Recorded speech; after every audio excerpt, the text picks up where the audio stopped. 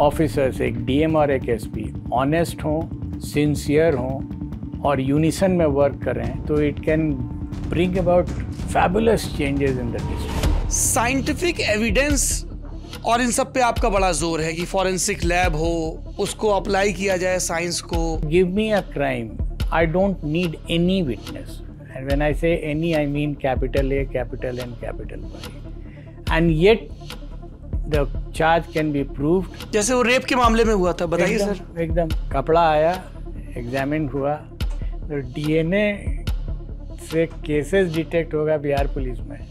सोच नहीं थी ऐसी। ऐसा कुछ होता है क्या कि घर में ब्यूरोक्रेट है तो वो एक इंस्पिरेशन या थोड़ा सा नैतिक दबाव भी रहता है कि हमको भी उसी फ़ील्ड में जाना है? ना तो इंस्पिरेशन था ना नैतिक दबाव पटना यूनिवर्सिटी में बिना ज़्यादा एफर्ट के टॉप कर गए। बेस्ट ग्रेजुएट हो गए। तो फिर लगा कि अब तो कहीं समवेयर होना है तो यूपीएससी दे दो। जब आप पटना यूनिवर्सिटी में पढ़ते थे तब लालू प्रसाद यादव अध्यक्षी का चुनाव लड़ रहे थे और नीतीश कुमार इंजीनियरिंग कॉलेज की अध्यक्षी के ये लोग लड़ते थे तो हम लोग वोटर्स थे उस समय। तो उस समय कोई बात मुलाकात आप लोगों की हुई? दूर दूर तक नहीं। बिहार मतलब बूथ कैप्चरिंग होती थी। बिहार मतलब लॉ एंड ऑर्डर खराब था। कंटेस्टेंट हैं उनके एजेंट लोग वहीं पर घूमते भी रहते हैं। हम्म। और वो अपनी जाति के हिसाब से कांस्टेबल्स को लगवा लेते हैं। तो हमने इसको चेंज कर दिया। हमने कहा कि हम लिस्ट बना देंगे और कंप्यूटर डिसाइड करेगा कि कौन कहाँ जाएगा। लालू प्रसाद यादव बिहार के मुख्यमंत्री कलेक्ट्रेट में बैठे हैं सुनवाई कर रहे हैं और उनके मंत्री जी तार काट देते हैं। ये क्या है? मतलब ये तो बड़ा हास्यास्पद लग रहा था पढ़ने में। कि हम देख चुके थे तो हमने एक अपने ऑफिसर को कहा कि जल्दी से जाके उसका टेप करवाओ। पर तब तक आपको लालू यादव ने बहुत सारी चीज़ें कह दी। एक व्यक्ति वो बैरिकेड पर चढ़ गया और उसने बहुत ज़ोर से चिल्ला के कहा ओ मुख्यमंत्री जी हमार एसपी के खिलाफ रहुआ कुछ ना बोल सकी। कंसाइनमेंट बस्ट कर रहे हैं गांजा पकड़ा गया या नशे का सामान पकड़ा गया नाइट्रोग्लिसरीन कारतूस पकड़ा गया। तो आप लोग भी वैसे सजा के बिहार पुलिस लिखते थे जैसे ईडी वाले आजकल लिखते हैं ऐसा कुछ करते थे? ये जब पकड़ा जाता है तो उसके बाद अगर उसका डॉक्यूमेंटेशन आप फॉलो कीजिएगा उसमें लूप होल्स रह जाते हैं। और उसी का वो फ़ायदा उठाता है। तो उसको सजाने से बेहतर है कि डॉक्यूमेंटेशन बेटर कीजिए इस सुपर कॉप शब्द तो आपके लिए भी इस्तेमाल होता है। पर आप देखने में हमारे घर के दादाजी जैसे लग रहे हैं एकदम कुर्ता पजामा पहने हुए हैं। तो हम आपको इमेजिन नहीं कर पा रहे हैं कि आप जिप्सी के बोनट पे बैठे होंगे उछल उछल के गोलियाँ चला रहे होंगे है ना? हेलीकॉप्टर पे लटके होंगे ऐसे गुंडे बदमाशों को पकड़ रहे होंगे। इंडिया का नया मैदान। डाउनलोड द ऐप नाउ नमस्ते। उम्मीद है कि आप लोग स्वस्थ और ताज़ा दम होंगे। आज के guest in the news room में थोड़ा सा ट्विस्ट है। पॉलिटिकल किस्सों की जैसी शुरुआत होती है, कुछ वैसी शुरुआत करते हैं। आप कल्पना करिए, एक ज़िला है, ज़िले में कलेक्ट्रेट में मंच सजा है, मंच पर मुख्यमंत्री बैठे हैं, जन अदालत जैसी कुछ चल रही है, जन सुनवाई जैसी कुछ चल रही है। ज़िले का जो कप्तान है, उसकी ये भी चिंता है कि लॉ एंड ऑर्डर को लेकर जो शिकायतें आ रही हैं उस पर मुख्यमंत्री को सवाल पूछें तो उसका जवाब दें। और ये भी चिंता है कि मुख्यमंत्री सुरक्षित रहें। और तभी कप्तान साहब, एसपी साहब देखते हैं कि मुख्यमंत्री के बगल में जो मंत्री बैठे हैं, वो अपनी कुर्ते की जेब से कैंची निकालते हैं और मुख्यमंत्री जिस लाउड स्पीकर पर माइक पर बोल रहे हैं, उसका तार काट देते हैं। तो आपकी प्रतिक्रिया क्या होगी? क्या होगी आपकी प्रतिक्रिया जब आपका डेजिग्नेशन हो एसपी, सीएम सिक्योरिटी? सीएम साहब एक नरसंहार का मुआयना करने गए हों जिन जाति समूहों का नरसंहार हुआ है, वो ये मानते हों कि इसके लिए सीएम ही जिम्मेदार हैं। फिर एक लाश के मुआयने के लिए वो खेत में जाएँ और चारों तरफ़ से पत्थरों की बारिश होने लगे। क्या होगा जब आपको पता चले एक पुलिस अधिकारी के तौर पर कि गुंडों और माफियाओं की सभा हुई और सभा में ये तय हुआ कि चूँकि एसपी ने अभी मर्यादा नहीं लांगी है, रेड डालते वक्त परिवार के बच्चों या महिलाओं के साथ बदसलूकी नहीं हुई है इसलिए एसपी को एक एनकाउंटर में जान से ना मारा जाए। क्या होगा जब आपको पता चले कि सुपर थर्टी की जो कहानी फ़िल्म में बताई गई है, वो पूर्ण सत्य नहीं है? क्या हो जब आपको पता चले कि एक कुख्यात सेना के मुखिया का जब मर्डर हो गया और उसके बाद पटना में बड़े पैमाने पर उत्पात हुआ, तब पुलिस ने संयम क्यों बरते रखा? किस तरह के इल्ज़ामों को सहा? ये फैसला लेते वक्त उस राज्य के डीजीपी ने। और तब क्या हुआ था जब भारतीय जनता पार्टी की तरफ़ से प्रधानमंत्री के उम्मीदवार घोषित किए गए व्यक्ति, यानी नरेंद्र मोदी, पटना में अपनी पहली रैली कर रहे थे उस स्वरूप में और लगातार बम विस्फोट हो रहे थे, जाँच हो रही थी और गिरफ्तारियाँ हो रही थी। और तब क्या हुआ जब एसपी को, पुलिस अधिकारी को बार बार उसकी जाति याद दिलाई गई। तब क्या हुआ? जब नीतीश कुमार ने इस्तीफा दिया तो उनके पास एक इस्तीफा और पहुँच गया। ऐसे बहुत सारे प्रसंग हैं, जो आपको आज के guest in the news room में पता चलेंगे, क्योंकि guest in the news room में आज के मेहमान हैं। बिहार काडर के आईपीएस अधिकारी रहे और मशहूर शिक्षक अभियानंद जी। बहुत बहुत स्वागत है सर आपका guest in the news room में। और इससे पहले कि आपके मन में ये सवाल आए कि guest in the news room में अभियानंद जी को बुलाने की वजह क्या है? वैसे तो तमाम औचक चर्चाएँ बहुत चौचक साबित होती हैं, पर रूपा पब्लिकेशन से ये किताब आई है अभियानंद जी की। आप ऑटोबायोग्राफी कह सकते हैं और उससे भी ज़्यादा पुलिसिंग को लेकर जो उनके तजुर्बे रहे वो कह सकते हैं। इसका शीर्षक है अनबाउंडेड। आपको दिख रही है अमतेश जी? भरपूर दिख रही है। My experiments with law, physics, policing and super thirty. तो इससे एक पेरीफरी भी तय हो जाती है कि किन स्वरूपों पर बात होगी। ये रूपा पब्लिकेशन से किताब आई है। पाँच सौ पंचानवे रुपये इसकी कीमत है।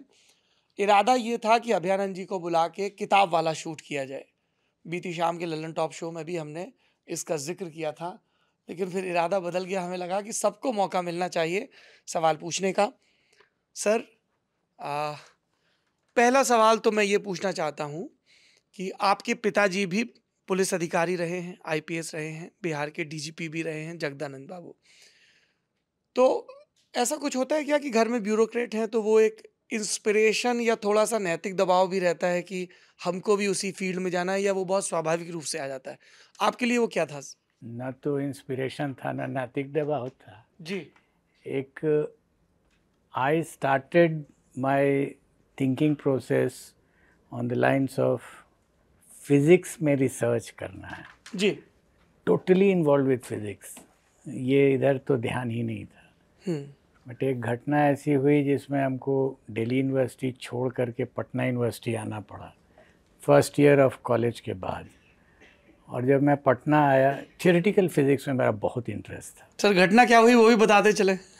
आ, मैं था रामजस कॉलेज में। जी। और फ़र्स्ट ईयर में जो हमारा रिजल्ट्स आया, उसमें I had got very good marks fabulous marks था। उसके आधार पर मैं चाहता था कि faculty of department of physics जो दिल्ली यूनिवर्सिटी में डायरेक्टली उनके अंडर में था हेड के I went and talk to him and I said कि, सर, हमको आप यहाँ ले लीजिए with these marks he said you are welcome get a no objection from your college और जब मैं कॉलेज में गया तो आई वॉज़ लाइक नहीं नहीं मिलेगा।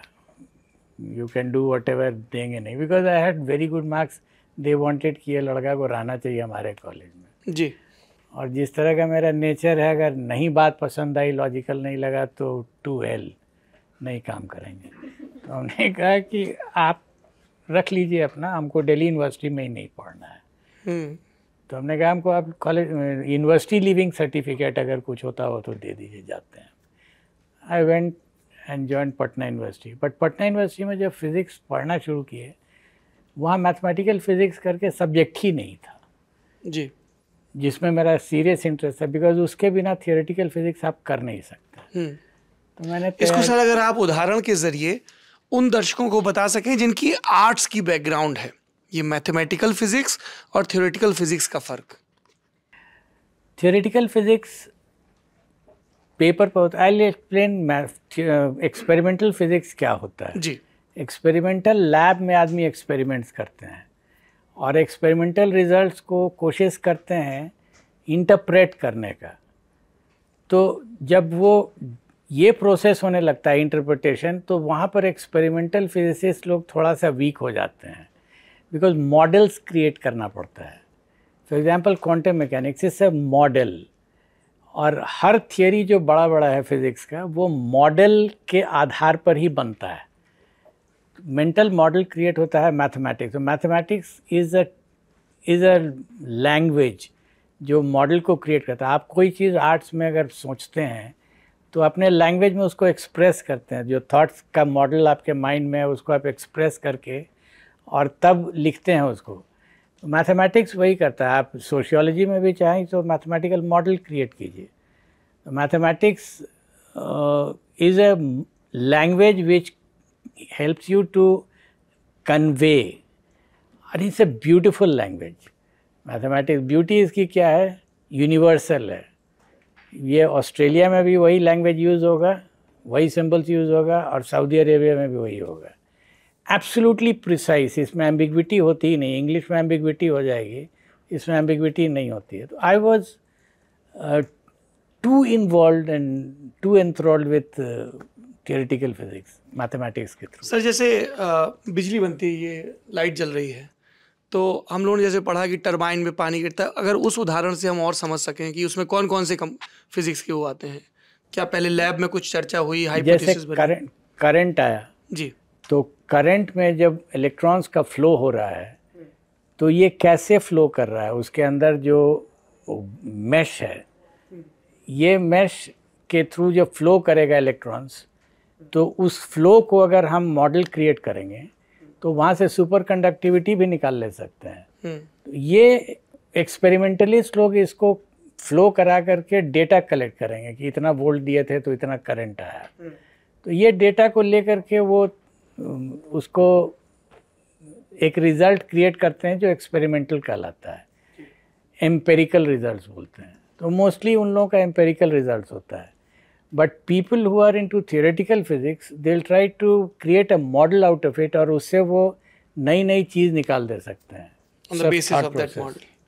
तो आप फिजिक्स पढ़ने के लिए पटना पहुँच गए फिर? पटना पहुँच गए एंड देन आई रियलाइज़ कि अब फिजिक्स में हम फ्रंटियर्स पर तो नहीं आ सकते हैं। जो हम जानते थे कि दिल्ली यूनिवर्सिटी में अगर तीनों साल कर लेते तो I would have been somewhere on the frontiers of physics क्या होता है तो भगवान जानता है। लेकिन मेरा इंटरेस्ट वही था। साइंटिस्ट एकेडमिशियन उस तरह का प्रोफ़ाइल हाँ बिल्कुल। पढ़ाने में इंटरेस्ट था। मतलब हमको लगा कि हम पढ़ा सकते हैं। Not exactly as a teacher but as a student तो I had done well Patna university में बिना ज़्यादा एफर्ट के टॉप कर गए बेस्ट ग्रेजुएट हो गए और सब कुछ हो गया हम्म। लेकिन हमको हार्ट ऑफ़ हार्ट से मालूम था कि कुछ नहीं है because I am nowhere in physics तो फिर लगा कि अब तो कहीं समवेयर होना है तो यूपीएससी दे दो। ये कौन से बरस की बात है? 1972-74 वाज माय बीएससी बैच मतलब जब आप पटना यूनिवर्सिटी में पढ़ते थे तब लालू प्रसाद यादव अध्यक्षी का चुनाव लड़ रहे थे हाँ, और नीतीश कुमार इंजीनियरिंग कॉलेज के अध्यक्षी के बिल्कुल बिल्कुल। बिकॉज़ इन लोगों का जब ये लोग लड़ते थे प्रेसिडेंट ऑफ़ पटना यूनिवर्सिटी के लिए तो हम लोग वोटर्स थे उस समय। अच्छा। और उन लोगों का जो भाषण होता था साइंस कॉलेज के मैदान में तो वो हम देखते थे उन लोग। तो उस समय कोई बात मुलाकात आप लोगों की हुई? बाद में तो आपने क्लोजली काम किया इन दोनों लोगों के साथ? दूर दूर तक नहीं। ज़्यादा इंटरेस्ट ही नहीं था उसमें नेतागिरी में कोई इंटरेस्ट नहीं था। ठीक है फिर यूपीएससी दिया आपका बैच था seventy seventy seven was my batch seventy six seventy five में रिज़ल्ट निकला था दिसंबर अट्ठाईस को शायद रिज़ल्ट आया था। थोड़ा डिलेड हो गया था जेपी एजिटेशन के कारण। आपने हिस्सा लिया था उस आंदोलन में? नहीं बिल्कुल नहीं। लेकिन एक चीज़ हमने अटेंड की थी वो जो एक उनका क्लासिक था गांधी मैदान में वो बैठे हुए थे उस समय तक किडनी प्रॉब्लम उनका हो चुका था। तो कुर्सी पर बैठ के उन्होंने भाषण दिया था। And I still remember as a student I had gone to listen to that speech और अभी भी एक इंसिडेंट याद है। क्वाइट था पिन ड्रॉप साइलेंस पूरे गांधी मैदान में। When I was whispering to my friend कुछ उनको हम एक्सप्लेन कर रहे थे तो बगल में एक सज्जन खड़े थे, उन्होंने बड़ा डांट के मुझे कहा, शांत रहिए, सुनने दीजिए। तो आप इमेजिन कर सकते हैं कि रैप्ट अटेंशन था। मेरे विस्पर को भी एक आदमी ने कहा शांत रहिए। ये मुझे memory you remember anything from that speech sir नहीं no but must have been very historical I mean हम लोग तो किताबों में ही पढ़ते हैं। वो जो एक रैली निकाली गई पट्टी बाँध के हिंसा के विरुद्ध है ना? और वो जो उद्घोष हुआ सिंहासन खाली करो की जनता आती है। संपूर्ण क्रांति का नारा संपूर्ण क्रांति का नारा तो बिल्कुल याद है बट उसके डिटेल्स नहीं याद है। परहैप्स उस लेवल पर मेरा माइंड फ़ंक्शन नहीं करता था। पॉलिटिकली उस लाइन पर कभी सोचते नहीं थे। लेकिन ये मुझे डिस्टिंक्टली याद है कि लोग इतने इन्वॉल्व थे कि मुझे ज़ोर से उन्होंने कहा कि आप शांत रहिए डिस्टर्ब मत कीजिए। जब आप सिविल सर्विसेज़ का इम्तिहान देने आते हैं। तो आपके पिताजी की क्या सलाह रहती थी? जैसे होता है ना कि आप इंटरव्यू के लिए आ रहे हैं अब तो हम लोग देखते हैं बहुत मॉक इंटरव्यू होते हैं उसके वीडियोस भी बहुत वायरल होते हैं। आप लोगों के इंटरव्यू की तैयारी कैसे हुई? कोई मॉक इंटरव्यू नहीं कोई कोचिंग इंस्टीट्यूट नहीं। जी। फिजिक्स और स्टैटिस्टिक्स मेरा सब्जेक्ट था। हाँ तब दो सब्जेक्ट हुआ दो करते सब्जेक्ट हुआ करते थे आईपीएस के लिए। तो वो मैंने दे दिया। और उसमें प्रॉब्लम हुआ ही नहीं। फिज़िक्स इनफैक्ट स्टैटिस्टिक्स में तो बीएससी में जब एग्ज़ाम दे रहे थे तो एक पेपर में 99 था और एक में 96 था। दो ही पेपर थे। पास कोर्स के पेपर होते हैं। फिज़िक्स में I got a 495 out of 600 in UPSC नहीं अच्छा, ये बीएससी यूनिवर्सिटी में। और कॉलेज में यूपीएससी में भी अच्छे मार्क्स आ गए थे। अच्छा।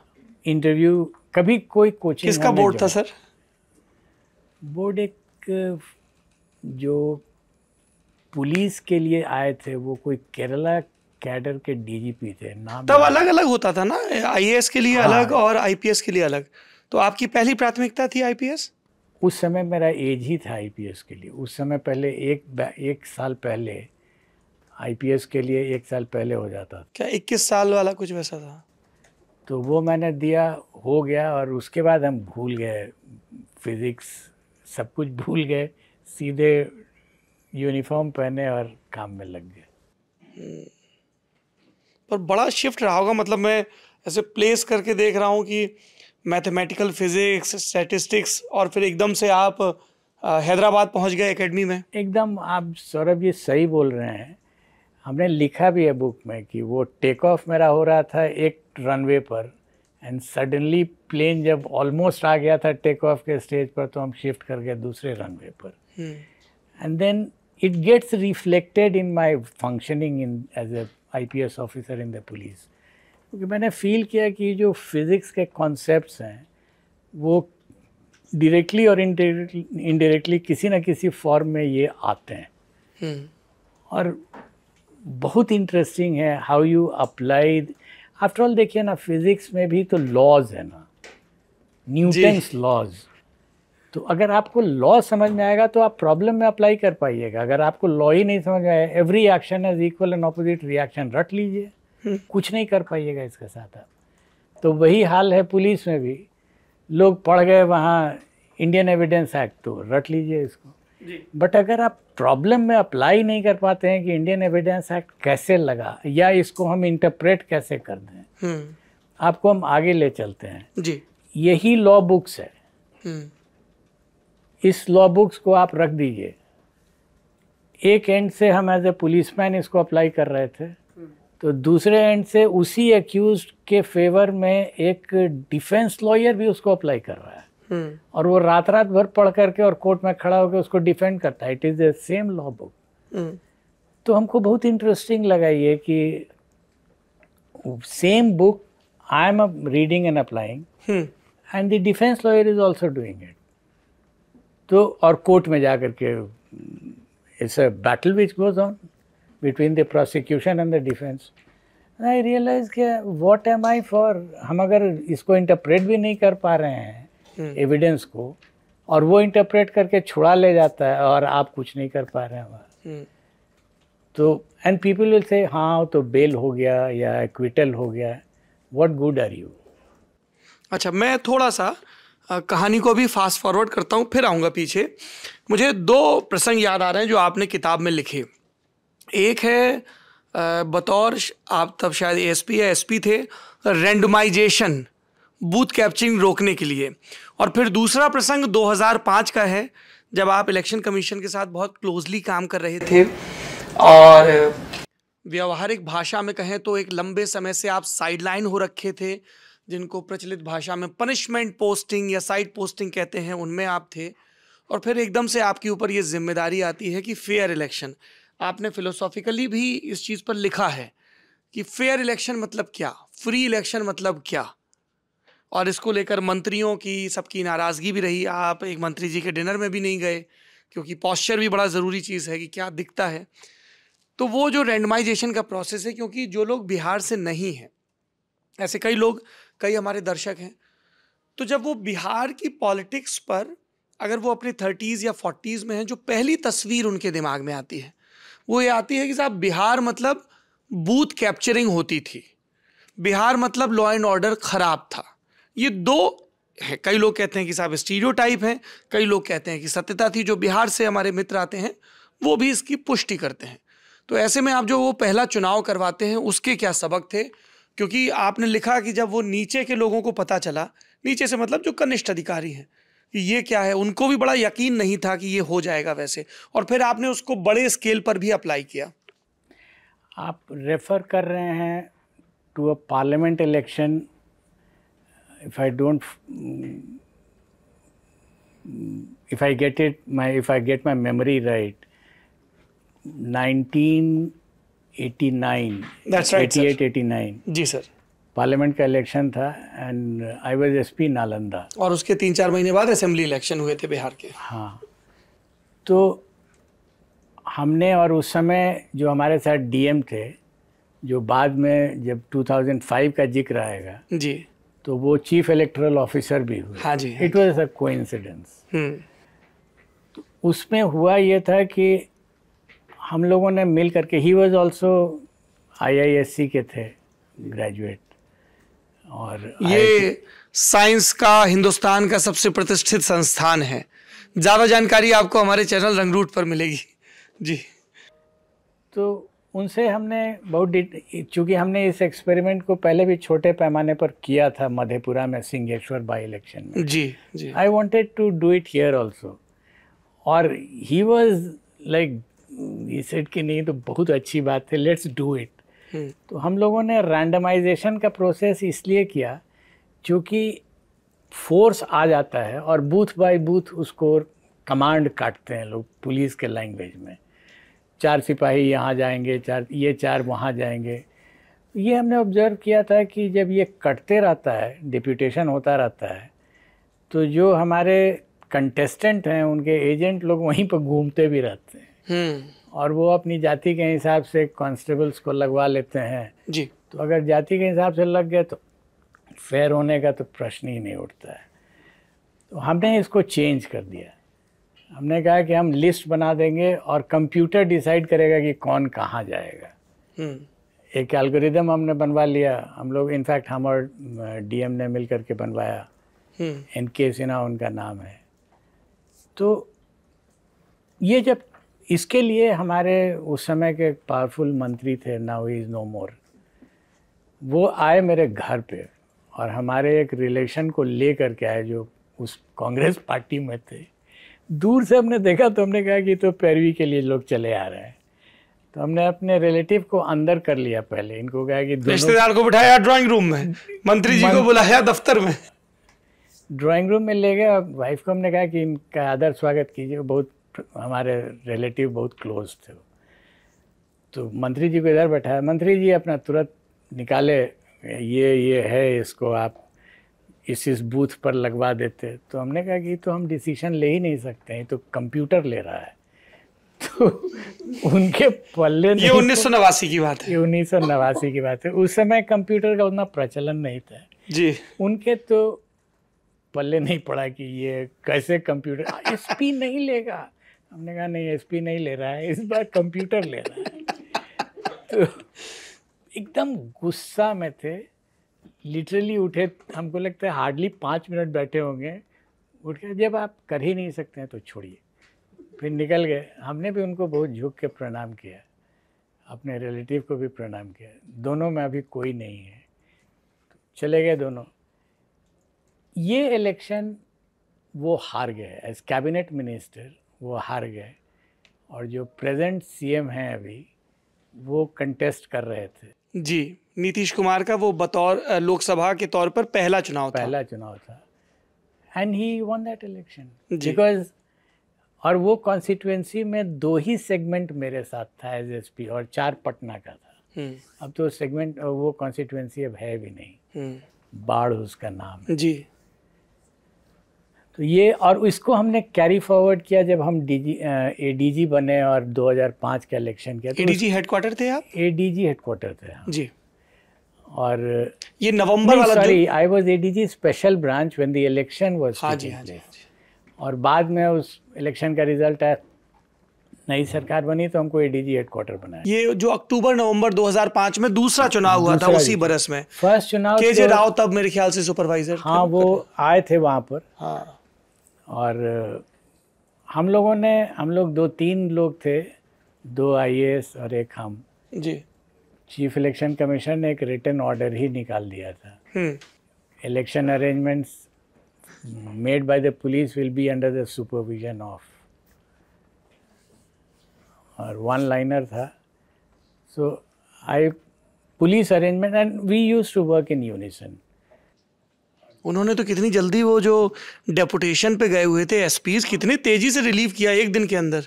उन्होंने मुझे बुलाया था पटने दिल्ली में ऑफ़िस में। और हमसे एकदम straightforward one to one में सवाल किया how can a fair election be conducted in Bihar उनसे हमारा कोई परिचय नहीं था। And I was not even senior enough कि आईजी रैंक के थे। जी। चीफ इलेक्शन कमिश्नर के सामने बहुत छोटा रैंक होता है। लेकिन ये प्रश्न उन्होंने पूछा।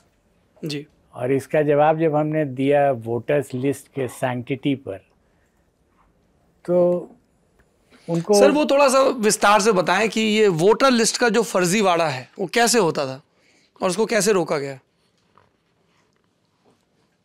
मैंने एक डेटा एनालिसिस किया था। डेटा एनालिसिस था आई कम आप अगर देखेंगे तो डेमोग्राफिक डेटा जो होता है गवर्नमेंट कई तरह की निकालती है। हम्म, एक है वोटर्स लिस्ट और एक दूसरा भी है इसके अतिरिक्त भी हैं। दूसरा है जो सेंसस होता है। जी जनगणना। एव- जनगणना एवरी टेन इयर्स आ जाता है वो। जी। तो हमने दोनों को कंपेयर किया उस समय 2005 में 2001 में सेंसस हो चुका था। जी। तो मैंने एक फिगर बनाया कि 2005 में कितने वोटर्स होने चाहिए सेंसस के अनुसार। तो उसमें ये फिगर आया था पाँच करोड़ कुछ लाख का, करीब about twenty seven thirty thirty lakhs का। सेंसस में पाँच करोड़ था और वोटर्स लिस्ट में तीस लाख करीब, पाँच करोड़ में तीस लाख ज़्यादा था। वेन आई कैलकुलेटेड कि इस कितना परसेंटेज है ये जो पॉपुलेशन से भी ज़्यादा वोटर्स लिस्ट है।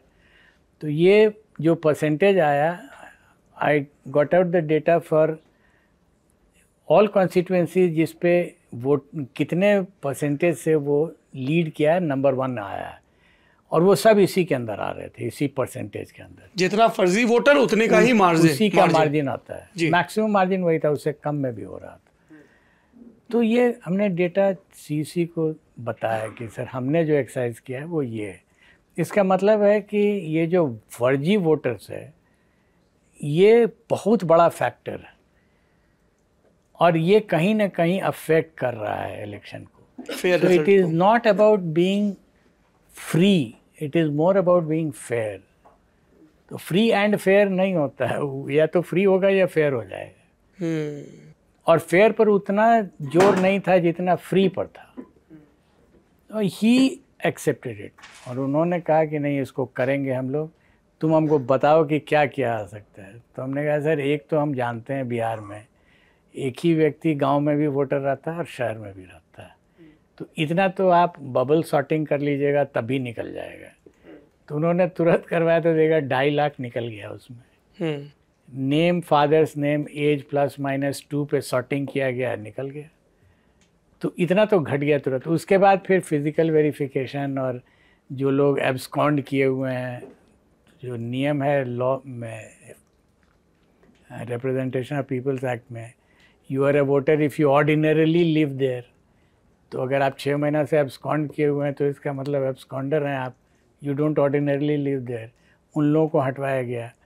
तो इस तरह से करके काटते काटते हमको लगता है करीब सत्रह अठारह लाख वोटर्स तो आउट हो गए उसमें। फ़िज़िकल वेरिफिकेशन भी कराया गया ये जो था वो 2005 इलेक्शन का एक मेजर कंट्रीब्यूशन था फेयरनेस के प्रति। और उसके अलावा जो रैंडमाइजेशन के साथ डिप्लॉयमेंट हाँ, था ताकि छोटे छोटे बहुत सारे अच्छा ये बार बार जैसे आप जब बूथ पर तैनाती का ज़िक्र कर रहे थे तो आपने कहा कि प्रत्याशी के एजेंट अपने जाति समूह या समर्थक जाति समूह। पर आईपीएस अभियानंद को भी उनकी जाति का एहसास कराया गया था। मेरे ख्याल से तब आप एसपी औरंगाबाद थे। प्रिसाइसली वो प्रसंग बताएँ जरा। एक मेरे ज्वाइन करने के जस्ट पहले एक घटना हुई थी जिसमें एक मर्डर हुआ था और मेरी जाति के लोगों ने ही ये किया था घटना। उसके जस्ट बाद पता नहीं उसी प्रसंग में मेरी पोस्टिंग हुई थी। होना नहीं चाहिए था। लेकिन वो हम्म, हुआ।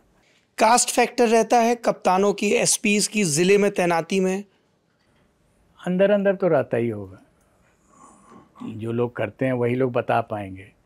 लेकिन ऐसा प्रतीत होता रहता है।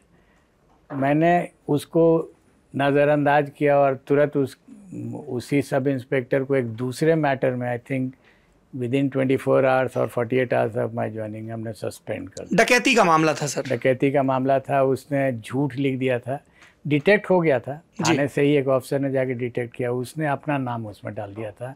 He had not gone SHO ने श्रेय ले लिया। दरोगा दूसरे के श्रेय खाते हुए। जी। तो हमने उसको डांटा कि तुमको तुम्हारा ऑफिसर गया था उसको श्रेय दे देना चाहिए था। Why did you write about yourself suspend हमने कर दिया। उसके बाद ये स्टार्ट हो गया इशू कि एक मेरी जाति का ऑफ़िस और हमने ये भी पूछा कि यहाँ नेक्स्ट मैन कौन है? तुरंत हमको सब पता भी नहीं था कि कौन कौन दरोगा जी लोग हैं। तो नेक्स्ट मैन जो था जूनियर सब इंस्पेक्टर वो मिला जो नाम मिला हमने लिख दिया कि वो थाना के प्रभार में रहेंगे जब तक समुचित व्यवस्था नहीं हो जाती है। जी। मैं चला आया। अगले दिन हंगामा शुरू हो गया। क्योंकि वो सज्जन मेरी जाति के निकल गए। हम्म। तो पहली बार मैं ने एहसास किया कि जाति को देख के ही सब काम करना चाहिए था क्योंकि हंगामा बड़ा हो गया है। थोड़ा anyway, आगे कहानी बताइए ना जब सिविल ड्रेस में डीजीपी के यहाँ पहुँचे। हाँ सिविल ड्रेस में डीजीपी परेशान थे। डीआईजी के यहाँ मैं गया था उनको कॉल ऑन करने तो उन्होंने हमको कहा कि डीजीपी तुमसे तुमको बुलाए हैं ऑफ़िस में। गया की बात है तो गया से मैं सीधे चला गया सिविल ड्रेस में ही डीजीपी के यहाँ। पटना? पटना। और सीधे उनको सैल्यूट किया जाके तो बोले ये तो कोई ड्रेस नहीं आने का। हमने कहा कि सर हमको प्रॉपर टाइम मिलता तो हम औरंगाबाद जाके यूनिफॉर्म पहन के आते। बट हमको कहा गया कि तुरंत बुलाया गया। तो हम आ गए इस ड्रेस में। I am sorry for that उन्होंने शुरू किया कि इसको आप रिलीज़ कर दीजिए और उस एसएचओ को जिसको आपने सस्पेंड किया है। तो ऐसे सर उसको रिलीज़ करके रिलीज़ तो शायद दस दिन के बाद पंद्रह दिन के बाद हो जाएगा। लेकिन अगर आप चाहिएगा कि उसी थाने में वापस आ जाए जी। तो ये तो तभी होगा जब आप मेरा ट्रांसफ़र कर दीजिए यहाँ से। बिल्कुल। कप्तान का रसूख प्रभावित हो रहा है सही भाई बात उससे। है सही बात है। उसके बाद तो थाना प्रभारी लोग समझ जाते हैं कि एसपी साहब का वैल्यू नहीं। अच्छा एक बिहार काडर में आईपीएस अधिकारियों को इस फैक्टर का भी बड़ा ख्याल रखना पड़ता है, जैसे इस एसएचओ के प्रसंग में हुआ कि एक तो जाति के स्तर पर विरोध हो रहा था। दूसरा जिसका ज़िक्र अभी फिर चुनाव आयोग की मीटिंग में हम चलेंगे कि वहाँ पे बिहार पुलिस मेंस एसोसिएशन है है ना? और आपने पहले भी जब एक कांस्टेबल को गिरफ़्तार करवाया, जिसको बदमाशीपूर्ण ढंग से आप ही की सुरक्षा में आपके बंगले पर तैनात कर दिया गया था, तब भी बड़ा विरोध हुआ। आपने जाके संबोधित किया। और चुनाव आयोग की मीटिंग है, वही 2005 का नवंबर का चर्चित चुनाव। और उसमें बिहार के प्रवचक आईपीएस अधिकारी, जो उन दिनों डीआईजी थे, समझदार समझ जाएँगे। समझ गए संदीप जी? तो आप बाकी लोग भी समझ जाएँगे। तो वो दलील देते हैं कि साहब चुनाव ना हो तो ठीक है पहले ये जो यूनियन चल रही है उसको खत्म करिए और सारे अधिकारी मेज पीट के वो तो बड़ा अनप्रेसिडेंटेड रहा होगा। इलेक्शन कमीशन की मीटिंग्स अधिकारी मेज पीट के एक मांग कर रहे हैं। हाईली अनप्रेसिडेंटेड मतलब उसने इतना इमोशनल स्पीच दे दिया ये एसोसिएशन अगर रहेगा तो इलेक्शन हो ही नहीं पाएगा। And everyone was thumping his desk जैसे पार्लियामेंट में और असेंबली में होता है उस टाइप ध्वनि मत। ध्वनि मत। I was asked by the chief election commissioner and the two other commissioners कि आप आइए और हमको समझाइए क्या है। हमने उनको समझाया कि सर ये एसोसिएशन का जो झगड़ा है हम लोगों के साथ ये चलता रहता है। वो इलेक्शन को कभी डिस्टर्ब नहीं करेंगे। They understand what they are doing आप इसमें इंटरफियर ही मत कीजिए, ये आपका रोल नहीं है। आप आए हैं इलेक्शन कराने इलेक्शन कराइए और ये झगड़ा तो चलता रहेगा। चलता रहेगा। सिन्हा साहब के साथ आपकी जुगलबंदी की खूब बात हो रही है, किताब में भी आपने ज़िक्र किया है। एक और डीएम के साथ, वो डीएम थे, आप एसपी थे। आपकी बतौर एसपी आखिरी तैनाती थी, फिर आप डीआईजी बनने वाले थे। उनकी बतौर डीएम पहली तैनाती थी बेतिया वेस्ट चंपारण। का ये? सही है। है ना? मामला है। वेस्ट चंपारण होगा east Champaran west. West Champaran होगा। और हम जानते हैं कि बाद में गोपालगंज में वो गोपालगंज के डीएम रहते हुए भीड़ ने उनका कत्ल कर दिया था। और पर जिस तरह से आप लोगों ने गन्ना माफिया पर नकेल कसी और तमाम दूसरे माफिया पर वो एक इस बात का भी उदाहरण था कि अगर डीएम और एसपी कदम ताल करें तो बहुत प्रभावी रिज़ल्ट आ सकते हैं। थोड़ा उस अनुभव के बारे में बताएँ। आपने जो कदम ताल की बात की ना, इससे बेहतर और कुछ नहीं हो सकता है। टू ऑफिसर्स, एक डीएम और एक एसपी, ऑनेस्ट हों, सिंसियर हों और यूनिसन में वर्क करें तो it can bring about fabulous changes in the district fabulous जब वो हम लोग दोनों एक ही साथ पोस्ट हुए थे। जी। और एक दिन पहले हमने ज्वाइन कर लिया था। और हम दिन भर घूम करके आ गए थे। रात में लेट पहुँचे तब तक मालूम हुआ कि डीएम साहब भी आए और वो भी आगे सोए हुए हैं सर्किट हाउस। में हम लोगों की मुलाकात पहले कभी नहीं हुई थी। तो हमने वो उठवा करके उठ करके आए और हमसे मिले और उन्होंने डिटेल्स पूछा हमसे। और हम ही ने उनको सजेस्ट किया कि हम लोग एक सप्ताह तक अलग अलग मूव करेंगे अलग अलग समझेंगे और जब एक बार समझ लेंगे तो अंडरस्टैंडिंग को शेयर करके एक प्लान बनाएँगे। And we did that and finally हम लोग कंक्लूड किए कि गन्ना illegal felling of trees illegal mining ये सब चीज़ें इलीगल मनी क्रिएट कर रही हैं। ब्लैक मनी जिसको कहते हैं, और यही किडनैपिंग को फ्यूल कर रहा है। तो ये अंडरस्टैंडिंग जब हम लोगों की हो गई तो we decided to attack black money, और उसके माध्यम से हमने क्राइम करने की क्राइम को चेक करने की कोशिश की। वी गॉट गुड रिज़ल्ट आपने एक डायग्राम जैसा बनाया हुआ है अपनी किताब में टू एक्सप्लेन दिस वो समझ में आता है कि एक साइंस के टीचर जी हैं जो ये किताब लिख रहे हैं, जो नियति के चलते पुलिस फोर्स में चले गए, जिसमें आप एक्सप्लेन कर रहे हैं कि देखो यहाँ पे रेवेन्यू लॉस यहाँ पे एक्सपेंडिचर लॉस और कैसे एक पैरल स्टेट क्रिएट होता है। बिहार के संदर्भ में, और आपने अपने और आगे के भी जो तजुर्बे लिखे हैं प्रॉपर्टी को कन्फिस्केट करना अलग अलग उपलब्ध कानूनों का प्रभावी इस्तेमाल करके। ये पैरल इकॉनमी जो चल रही थी, जैसे अभी भी हम बिहार, झारखंड के कई इलाकों के बारे में सुनते हैं फिशिंग के बारे में, जामताड़ा मॉडल का बार बार ज़िक्र होता है। इसकी वजह क्या आपको समझ में आई? आपने इतने दशकों तक पुलिसिंग भी की और आप नागरिक भी हैं उसी राज्य के। मेरा अपना बेसिक थीम है, जिसको मैंने मॉडल के रूप में रखा, वो है कि black money fuels crime and crime also generates in turn black money तो ये कॉज एंड इफ़ेक्ट दोनों एंड से है। इसी को हमने उस फिगर में एक्सप्लेन करने की कोशिश की है कि स्टेट जो है, वो ब्लीड हो रहा है, दोनों एंड से। रेवेन्यू एंड से भी और एक्सपेंडिचर एंड से भी। और ये दोनों फिर मिल करके एक पैरल इकॉनमी बना रहा है। इस पैरल इकॉनमी को हम लोग एज पुलिसमैन एकदम प्रोटेक्ट करते रहते हैं कि अगर किसी के घर में, मान लीजिए कोई बहुत बड़ा बिजनेसमैन है और उसने दोनों एंड से ब्लीड किया है स्टेट को। तो उसके घर में अगर प्रॉपर्टी आ जाएगा तो हमारा काम है उस प्रॉपर्टी को प्रोटेक्ट करना from dacoits and menial type के जो क्रिमिनल्स हैं। कोई चोरी नहीं कर ले, कोई डकैती नहीं कर ले। बट वो जो प्रोसेस से आया है उसके घर में, वो भी क्राइम है। And we are told no it is not your job ये तो कोई और देखेगा इनकम टैक्स देखेगा, या मे बी सी देखेगी। हम्म। तो आई यूज़ टू क्वेश्चन कि वाई ये भी तो क्राइम हुआ है ये कॉग्निजेबल ऑफेंस है। And I use to apply my law and say कि ये ऑफेंस है तो फिर जब हम देख रहे हैं इसको तो यहाँ क्यों नहीं इंटरवीन करते हैं? जब उसमें से कोई निकाल लेता है तब क्यों इंटरवीन कर रहे हैं? हम्म। और इसको मैंने चैलेंज किया। चैलेंज किया और उसके अगेंस्ट और अपना पूरे प्रोसेस को हमने गैल्वेनाइज भी किया।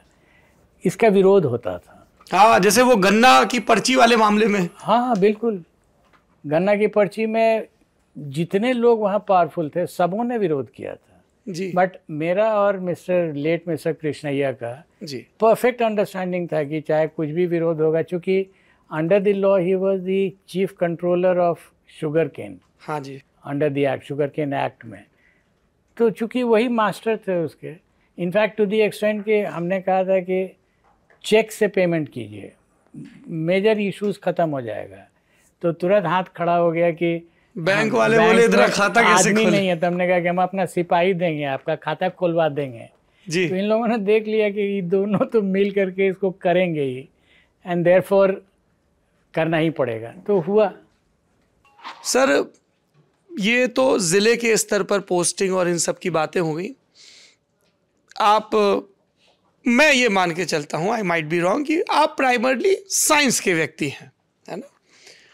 साइंटिफिक एविडेंस और इन सब पे आपका बड़ा ज़ोर है कि फॉरेंसिक लैब हो, उसको अप्लाई किया जाए साइंस को, फिर चाहे वो नाखून में हाइड्रोजन परऑक्साइड या कुछ लगवाना हो, या वो जो डकैती वाला एक प्रसंग हुआ था जिसमें बिहटा से पटना के बीच आ रहा था बैंक वाला गोली मारी गई थी। ये मैं चाहता हूँ इस पर विस्तार से बात हो, क्योंकि हम और भी जब पुलिस वालों से बात करते हैं, या उन लोगों से भी, पुलिसिंग से तो हम सबका सामना पड़ता है असुरक्षित महसूस करते हैं, कुछ क्राइम होता है, कि कैसे ये एफिशिएंट बनाता है, कन्विक्शन रेट को बढ़ाता है, और अभी कई राज्यों के पुलिस दल कितने पिछड़े हुए हैं। और जब मैं ये सवाल पूछ रहा हूँ तो मुझे वो मंजर भी याद आ रहा है, जो आपने किताब में ज़िक्र किया कि कैसे नीतीश कुमार बनावटी तौर पर खफा होते हैं कि भाई, सब लोग बात कर रहे हैं, आपने जो लैब इस्टेब्लिश की है, हमने इतने बिल भी सेंक्शन किए हैं, आपने हम ही को नहीं दिखाई। और फिर वो दो घंटे घूमते हैं और लैब की एक एक चीज़ देखते हैं और कैसे वो चेंज कर देता है क्रिमिनल लॉ के जो प्रोसीजर हैं, पुलिसिंग के और सबको। वो बताइए ज़रा। सौरभ जी, फॉरेंसिक एक ऐसा अस्त्र है जो अगर हम डेवलप कर दें अच्छे तरीके से और उसका टेनर डेवलप करें, जो आई के बीच में उसकी अंडरस्टैंडिंग है and the will to adopt it ये अगर अच्छे लेवल का हो जाए तो आई टेल यू इसकी पराकाष्ठा जो होगी, वो ये है give me a crime I don't need any witness and when I say any I mean capital A capital N capital Y and yet the charge can be proved जैसे वो rape के मामले में हुआ था बताइए सर। एकदम। ये एक रेप हुआ डिस्ट्रिक्ट था बक्सर। वहाँ बहुत घर के अंदर ही हुआ था। हम्म। माइनर घर की बच्ची थी माइनर की घर की बच्ची और परिवार के ही लोगों ने किया था। तो बहुत फास्ट ओरल एविडेंस बहुत फास्ट आया लड़की का उसकी माँ का। एंड देन ट्रायल छः सात दिन के अंदर में स्टार्ट हो गया। And then the S P rang me up कि सर फ़र्स्ट ही विटनेस जो है वो हॉस्टाइल हो गई है। फ़र्स्ट विटनेस मतलब जो प्रोसिक्यूट्रिक्स बोलते हैं लड़की। वो हॉस्टाइल हो गई है उसकी माँ नेक्स्ट डे हॉस्टाइल हो गई तो अब तो सर केस ख़त्म हो जाएगा। तो ऐसे डोंट बॉदर तुम जल्दी जल्दी कर लियो उसका कपड़ा तो होगा, कपड़ा को भेजवाओ और थोड़ा सा ट्रायल को विद होल्ड करो। कपड़ा आया एग्जामिन हुआ डीएनए लैब हमने बाय देन सेटअप कर लिया था पटना में which is something too great for Bihar police तो डीएनए से केसेस डिटेक्ट होगा बिहार पुलिस में, सोच नहीं थी ऐसी। और उसमें डीएनए में रिजल्ट्स आए। फाइनली हुआ ये कि एक गवाह नहीं इवन द विक्टिम डिनाइज और डिस्ट्रिक्ट जज को लग रहा था कि ओरली तो कुछ भी एविडेंस नहीं है और टेक्निकली हाईएस्ट लेवल का एविडेंस था।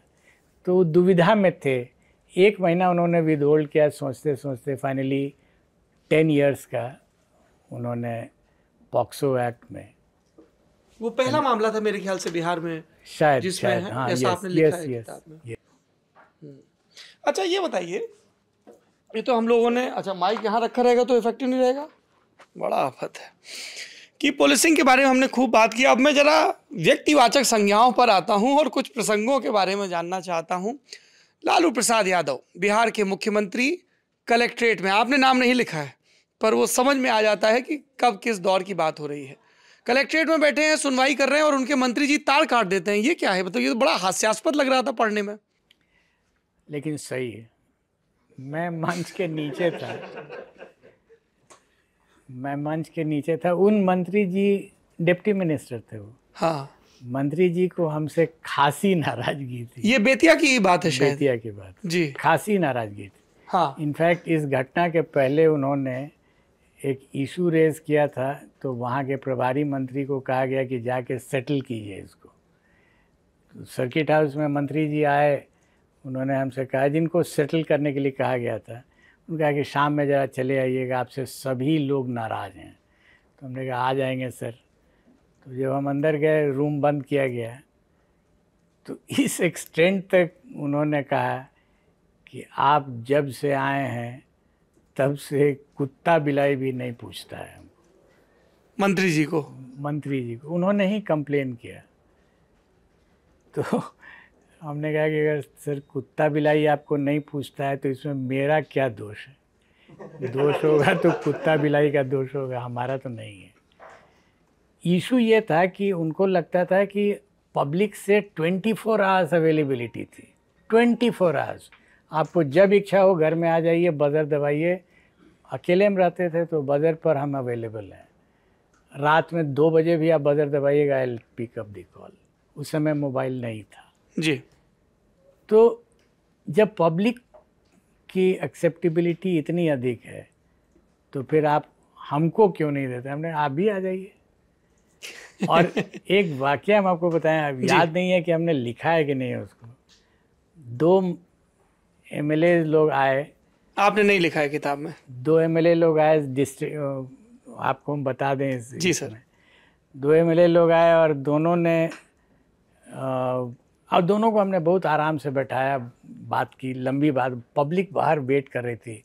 और मेरे यहाँ ऑन एन एवरेज 200 लोग पर डे रहते थे वहाँ हम्म। मिलने के लिए। तो उन्होंने जब वो आधा घंटा बैठ गए तो एक प्रोफेसर साहब थे बाहर में उनका एक स्लिप आया। पुलिस अधीक्षक महोदय कृपया बताएँ अपने मन हमारे मंत्री को हमारे एमएलए को कि जनता का भी समय बहुमूल्य होता है। जी।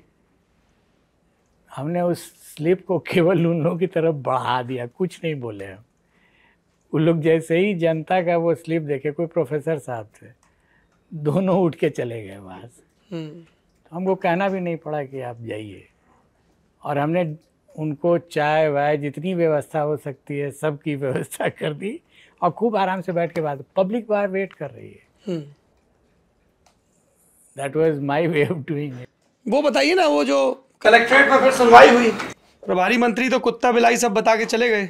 हाँ तो क्या आइडिया था कि आपको पब्लिकली डांटा जाए? यस पब्लिक देखिए कभी भी पब्लिक मीटिंग्स में अगर पीए सिस्टम फेल कर जाएगा तो लॉ एंड ऑर्डर प्रॉब्लम होगा सुनाई ही नहीं पड़ेगा। And it is not a good idea as far as the S P is concern क्योंकि पब्लिक एड्रेस सिस्टम ये सब एस पी की जवाबदेही होती है। माइक ठीक से काम माइक करे ध्वनि विस्तारक यंत्र ठीक रहे। थोड़ा obviously the chief minister will be annoyed क्योंकि उनका भाषण चल रहा है और बीच में ही गायब और पड़ोसी जिलों का मामला है उनके गृह ज़िले के। तो मिला जुला करके परेशानी हुई लेकिन चूँकि हम देख चुके थे तो हमने एक अपने ऑफिसर को कहा कि जल्दी से जाके उसका टेप करवाओ। Wasn't it मतलब बहुत ब्लैक। ट्रेजिडी जैसा कि आप एसपी देख रहा है कि मंत्री तार काट रहा है मतलब। क्या कर सकते हैं? क्या करें बताइए। आपने बताया नहीं सीएम को कि ये तो मंत्री जी ने तार काटा। शुड आई कौन मेरी बात का विश्वास करेगा? उस समय तो कोई नहीं करता। बट टेप हमने करवाया। अच्छा तब तक आपको लालू यादव ने बहुत सारी चीज़ें कह दी। हाँ। रिएक्शन है। ये तो रिएक्शन होना ही था। उसके बाद जो हमने लिखा है इसमें कि एक व्यक्ति जो नीव नीव वस्त्र उसके शरीर पर नहीं था बहुत करीब था। ऐसी गमछा सा लपेटे था गमछा लपेटे हुए। वो बैरिकेड पर चढ़ गया और उसने बहुत ज़ोर से चिल्ला के कहा उसको मैं नहीं पहचानता हूँ आज भी नहीं पहचानता। उसने कहा अपनी भोजपुरी भाषा में। हाँ उसी में बताइए। अ मुख्यमंत्री जी हमार एसपी के खिलाफ रहुआ कुछ ना बोल सकी। बहुत क्लियरली और थोड़ा सा हाइट पर आ गया था तो उसकी आवाज़ और गूंज रही थी। And that is when I felt कि पब्लिक जो है वो आपको अगर सपोर्ट कर देती है तो कोई कुछ नहीं कर सकता। And that is why this book I dedicated to the aam aadmi of Bihar जिनकी आस्था अभी भी अकंपित है। और यही पब्लिक जब विरोध में होती है तो मुख्यमंत्री पर पत्थर फेंकती है। वो प्रसंग बताइए सर जो खेत में डेड बॉडी पड़ी थी मैसेकर हुआ था तब आप एसपी सीएम सिक्योरिटी थे। थे। हाँ जी। लालू यादव जी ही थे तब मुख्यमंत्री? हाँ। बट थोड़ा क्रेडिट हम उनको देंगे कि उस माहौल में भी ये वॉकड इन मेरे लिए बहुत दिक्कत हो कहाँ की बात थी सर ये? औरंगाबाद? जहानाबाद। जहानाबाद। जहानाबाद के किसी गाँव के गाँव का नाम याद नहीं है। जी। बट ही वॉकड इन किसी तरीके से हम लोग आयर तो बहुत था गुस्सा बहुत था। और जब एक डेड बॉडीज हटा दी गई थी पहले एक डेड बॉडी गलती से रह गया था खेत में। खेत में। And then he went up to that dead body हम एंटिसिपेट कर रहे थे जो कास्ट इक्वेशन था उसमें एंटिसिपेशन मेरा था। तो उसमें मिट्टी जो थी वो थोड़ा पक गई थी। केवाल मिट्टी बोलते हैं उसको। तो हार्ड हो जाता है। तो हमने गया से ही उन शील्ड ले लिया था। वो लगा था कि शील्ड की ज़रूरत पड़ेगी। जो पत्थरबाजी रोकने के लिए जो हाँ हाँ। तो पाँच छः शील्ड ले लिया था उनके। रिंग राउंड में सबको दे दिया था कि ज़रूरत पड़े तो इसको तुरंत लगा लेना। सीएम के इर्द गिर्द शील्ड बना लेना। शील्ड बना। और उसकी आवश्यकता पड़ गई और उससे फ़ायदा भी हुआ। और आपका ट्रांसफ़र भी हो गया? मेरा ट्रांसफ़र हुआ वहाँ से Bettiah.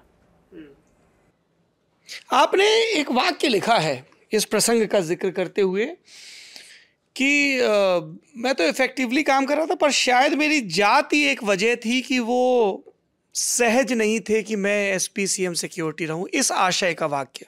S P C M security में करीब ढाई साल रहा था। हम्म। मे बी तीन साल अब याद नहीं। तो ढाई साल में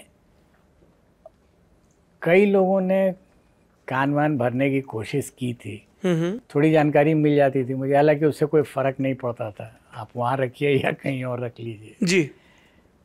लेकिन ये घटना हुई थी। एक एमएलए थे हेमंत शाही। उनका मर्डर हुआ था। जी। और एक बहुत एजिटेटेड क्राउड आ गया। वो पटना सीएम हाउस की तरफ़ आने वाला था वैशाली के थे शायद वो? वैशाली हाँ जी। तो हमने पहले से व्यवस्था कर ली थी वहाँ काफ़ी प्रोटेक्टेड हो गया था। मुख्यमंत्री के बंगले पर आँच ना मुख्यमंत्री के बंगले पर। वो जब हमने व्यवस्था कर ली तो मैंने देखा कि वो लोग टर्न कर गए टुवर्ड्स दी असेंबली असेंबली भी नज़दीक ही में है देन परहैप्स मंत्रणा हुई होगी कि cannot be trusted with this caste which is quite natural तो ट्रांसफ़र हो गया हो गया तो ठीक ही है, हो गया। अच्छा ये आप इंट्यूशन की बात कर रहे थे। आपने बिल्कुल किताब के आखिरी में अपनी इंट्यूशन के हवाले से बयां किया है। नरेंद्र मोदी जी की रैली होती है पटना में, बम ब्लास्ट होता है। बम विस्फोट होता है। आप साउथ अमेरिका के दौरे पर जाने वाले थे मेरे ख्याल से। कोलंबिया। कोलंबिया के दौरे पर जाने वाले थे। बहुत प्रतिष्ठित चुनाव था वो। आपको रिप्रेजेंट करना था हिंदुस्तान की पुलिस को बिहार की पुलिस को। पर आप मुख्यमंत्री नीतीश- कुमार के पास जाते हैं और अपनी छुट्टी कैंसिल करवाते हैं। किताब में आपने विस्तार से नहीं लिखा है लेकिन सर हमारा आग्रह है कि आप विस्तार से बताएँ कि वो पटना बम विस्फोट को लेकर क्या इंटेलिजेंस रिपोर्ट थी उस दिन हुआ क्या how did you handle that situation intelligence जब भी कोई इस टाइप के वीआईपी आते हैं तो एक इनपुट आता है। इनपुट में स्पेसिफिसिटी नहीं है। जो इनपुट उस समय आया था, उसमें स्पेसिफ जबकि जो आसूचना विभाग है, भारत सरकार का, वो बहुत बार बहुत स्पेसिफिक इंटेलिजेंस देता है। इस केस में नहीं था। तो जनरली जो अरेंजमेंट किया जाता है उसमें जो कैटेगराइजेशन उनका था उस तरह का अरेंजमेंट कर दिया गया। दुर्भाग्यवश पहला ब्लास्ट जो हुआ दुर्भाग्यवश हम उनके लिए बोल रहे हैं जो लोग क्रिमिनल्स थे। जी। जो पहला ब्लास्ट हुआ वो रेलवे स्टेशन पर हो गया। Patna railway station Patna railway station पर। उसमें दो लोग थे दोनों एक ही गैंग के थे एक इस बाथरूम में और एक उस बाथरूम में बगल अगल के। ये लोग दोनों उसका टाइमिंग डिवाइस को सेट कर रहे थे। बम की। बम। गलती एक से हो गई और वो ब्लास्ट कर गया। हम्म। बगल वाला भी भागा वहाँ से। जिसके बॉम्ब का ब्लास्ट हुआ वो बैडली इंजर्ड हो गया। तो बात करने की स्थिति में नहीं था। तो एक का mutilate mutilated I won't say but highly badly injured body मिला। और दूसरे का ऑन द स्पॉट नहीं वो उसका डेथ हुआ तीन दिन बाद। जी। तीन या चार दिन बाद। दूसरा वाला जो भाग रहा था उसको इसमें डिस्प्यूट है कि पब्लिक ने पकड़ा या पुलिस ने पकड़ी विच एवर वो पकड़ा गया और यहाँ डायस पर भाषण की तैयारी हो रही थी। गांधी मैदान में वो रैली थी। सीनियर एसपी ने हमको आके बता दिया था कि सर ये पूरी टीम आ चुकी है इन लोगों की। Some of them have come by some other bus ये लोग एक दूसरे बस से कौन से आतंकवादी संगठन से जुड़े हुए थे? एक स्लीपर सेल था इन लोगों का जो हटिया में उस समय कैंप किए हुए थे। और हम लोगों को उसकी जानकारी नहीं थी। बहुत क्लियर कट जानकारी नहीं थी। लेकिन जब ये ब्लास्ट हो गया तो एसपी ने हमको आके बता दिया कि सर वो ग्रुप आ चुका है दे हैव रीच्ड गांधी मैदान बट वो गांधी मैदान में कहाँ कहाँ जाके प्लांट किया? अर्ली मॉर्निंग की बात थी। तब तक रेलवे स्टेशन पर ब्लास्ट रेलवे स्टेशन पर ब्लास्ट हो चुका और भीड़ आनी शुरू हो चुकी थी तो रैली के लिए। रात से ही आने लगी थी। और गांधी मैदान को अगर आप देखिएगा तो एक बहुत बड़ा पोर्शन उसका ओपन है। जी। लोग आ सकते हैं जा सकते हैं उसमें सब क्राउड उनको सुनने के लिए भी नहीं था। बट एक पर्टिकुलर एरिया था जिसको हम लोग कॉर्डन ऑफ़ करके रखते हैं। वो कॉर्डन ऑफ़ था।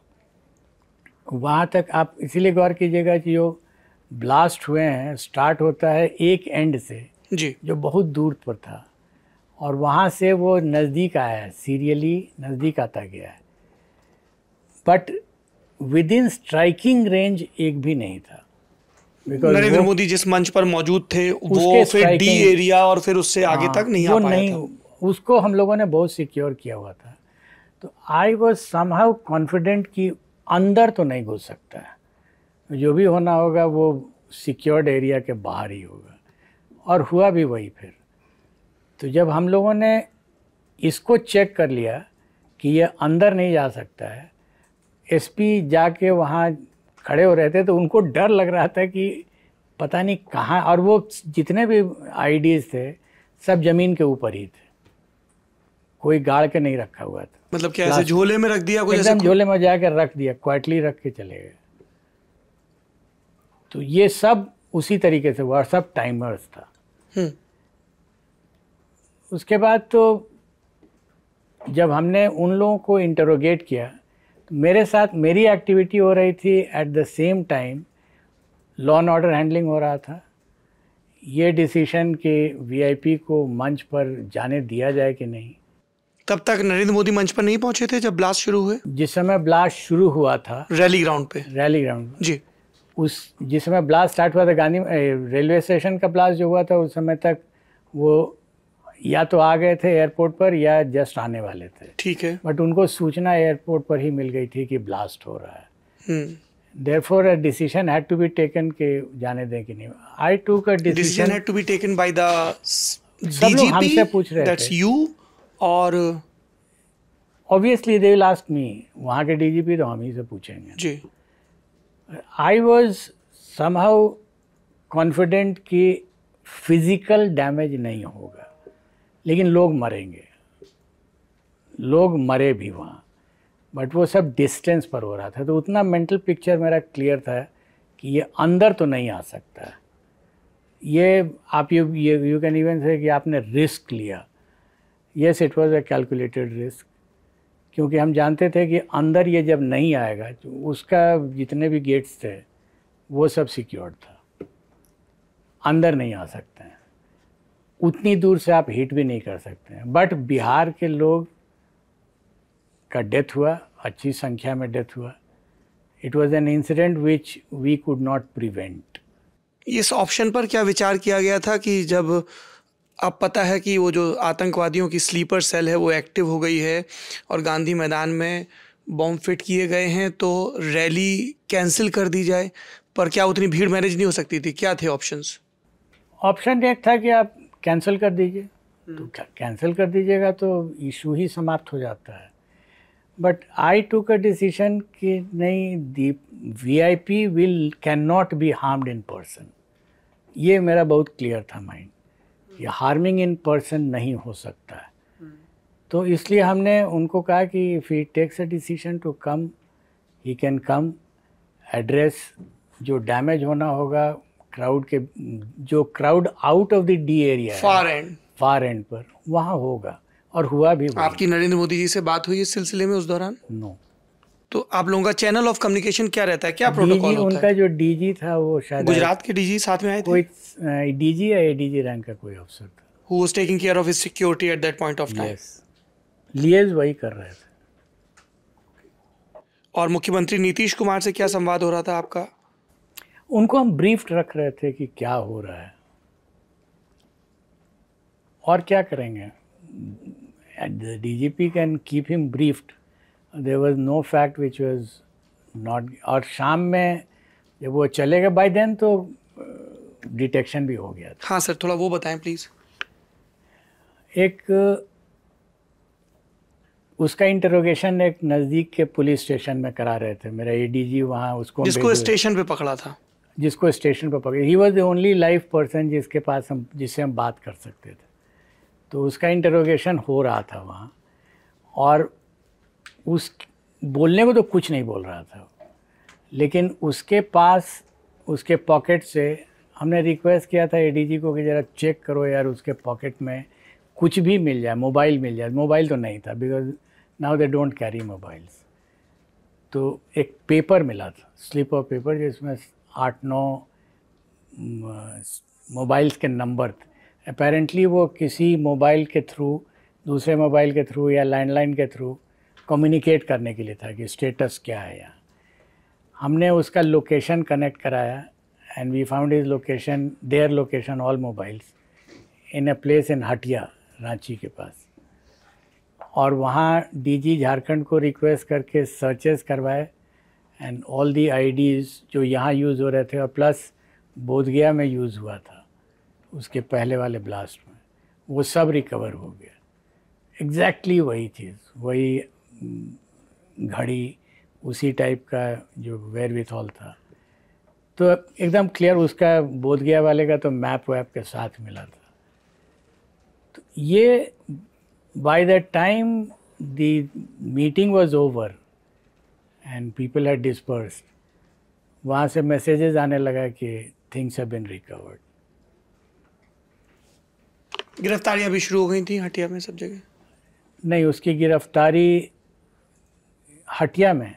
जी। एकदम सौरभ जी याद नहीं है कि किसी की गिरफ्तारी बट रिकवरी वाला तो बिल्कुल याद है मतलब नरेंद्र मोदी की रैली बीतते बीतते शाम तक मोडस ऑपरेंडी क्या थी?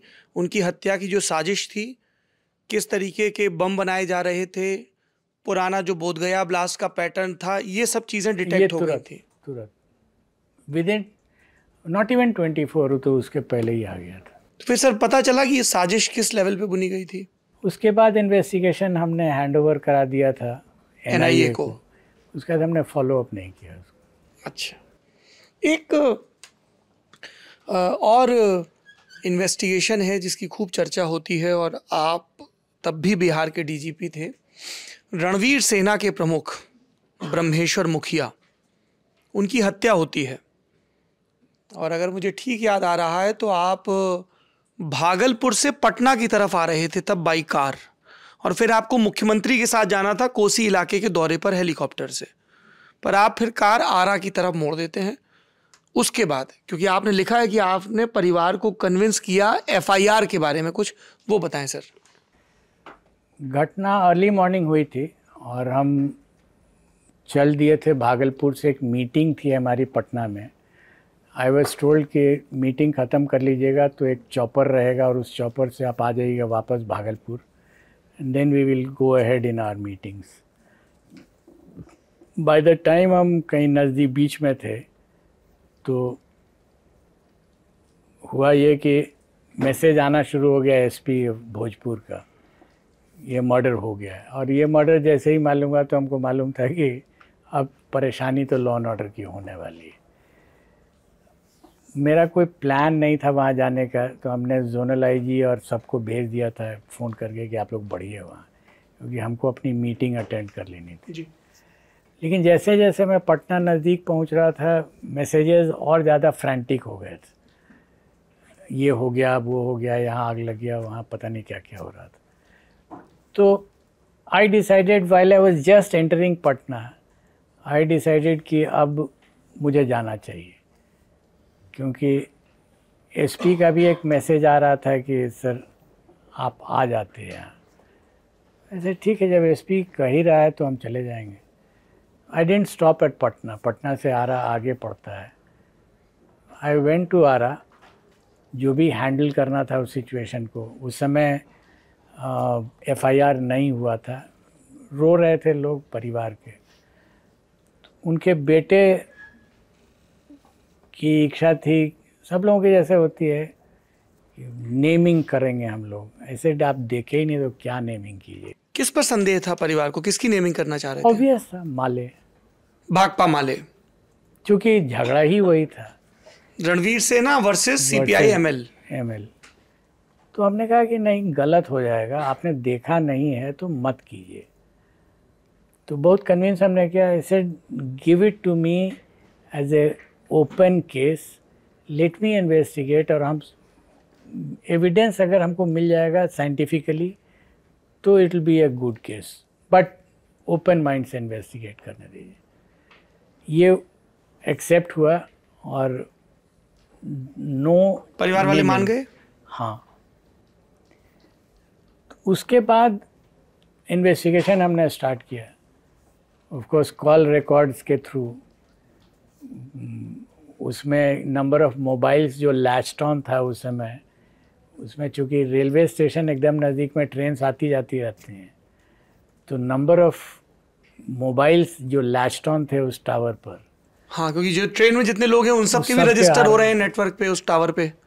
तो उसको फिर हम लोगों ने सॉर्ट आउट किया जो लास्ट डिजिट होता है one two three one twenty one twenty one twenty degrees में।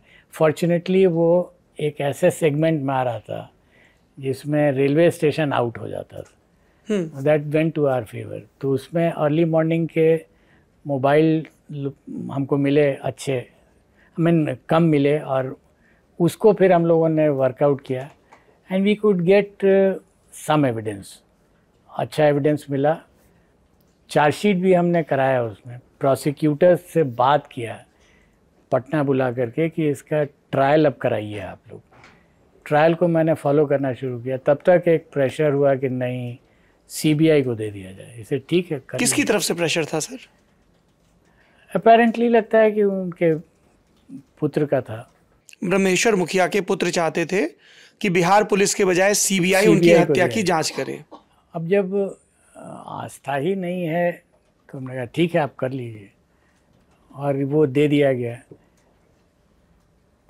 इसके बाद भी वो अब अभी भी इन्वेस्टिगेशन ही हो रहा है जो हमको दूर से जानकारी है। अब तो ऑफिशियल जानकारी है नहीं। हाँ क्योंकि मैं ये पूछने वाला था कि उसमें क्या कौन किसने कंस्पिरेसी रची क्या अभी प्रूफ हुआ कुछ?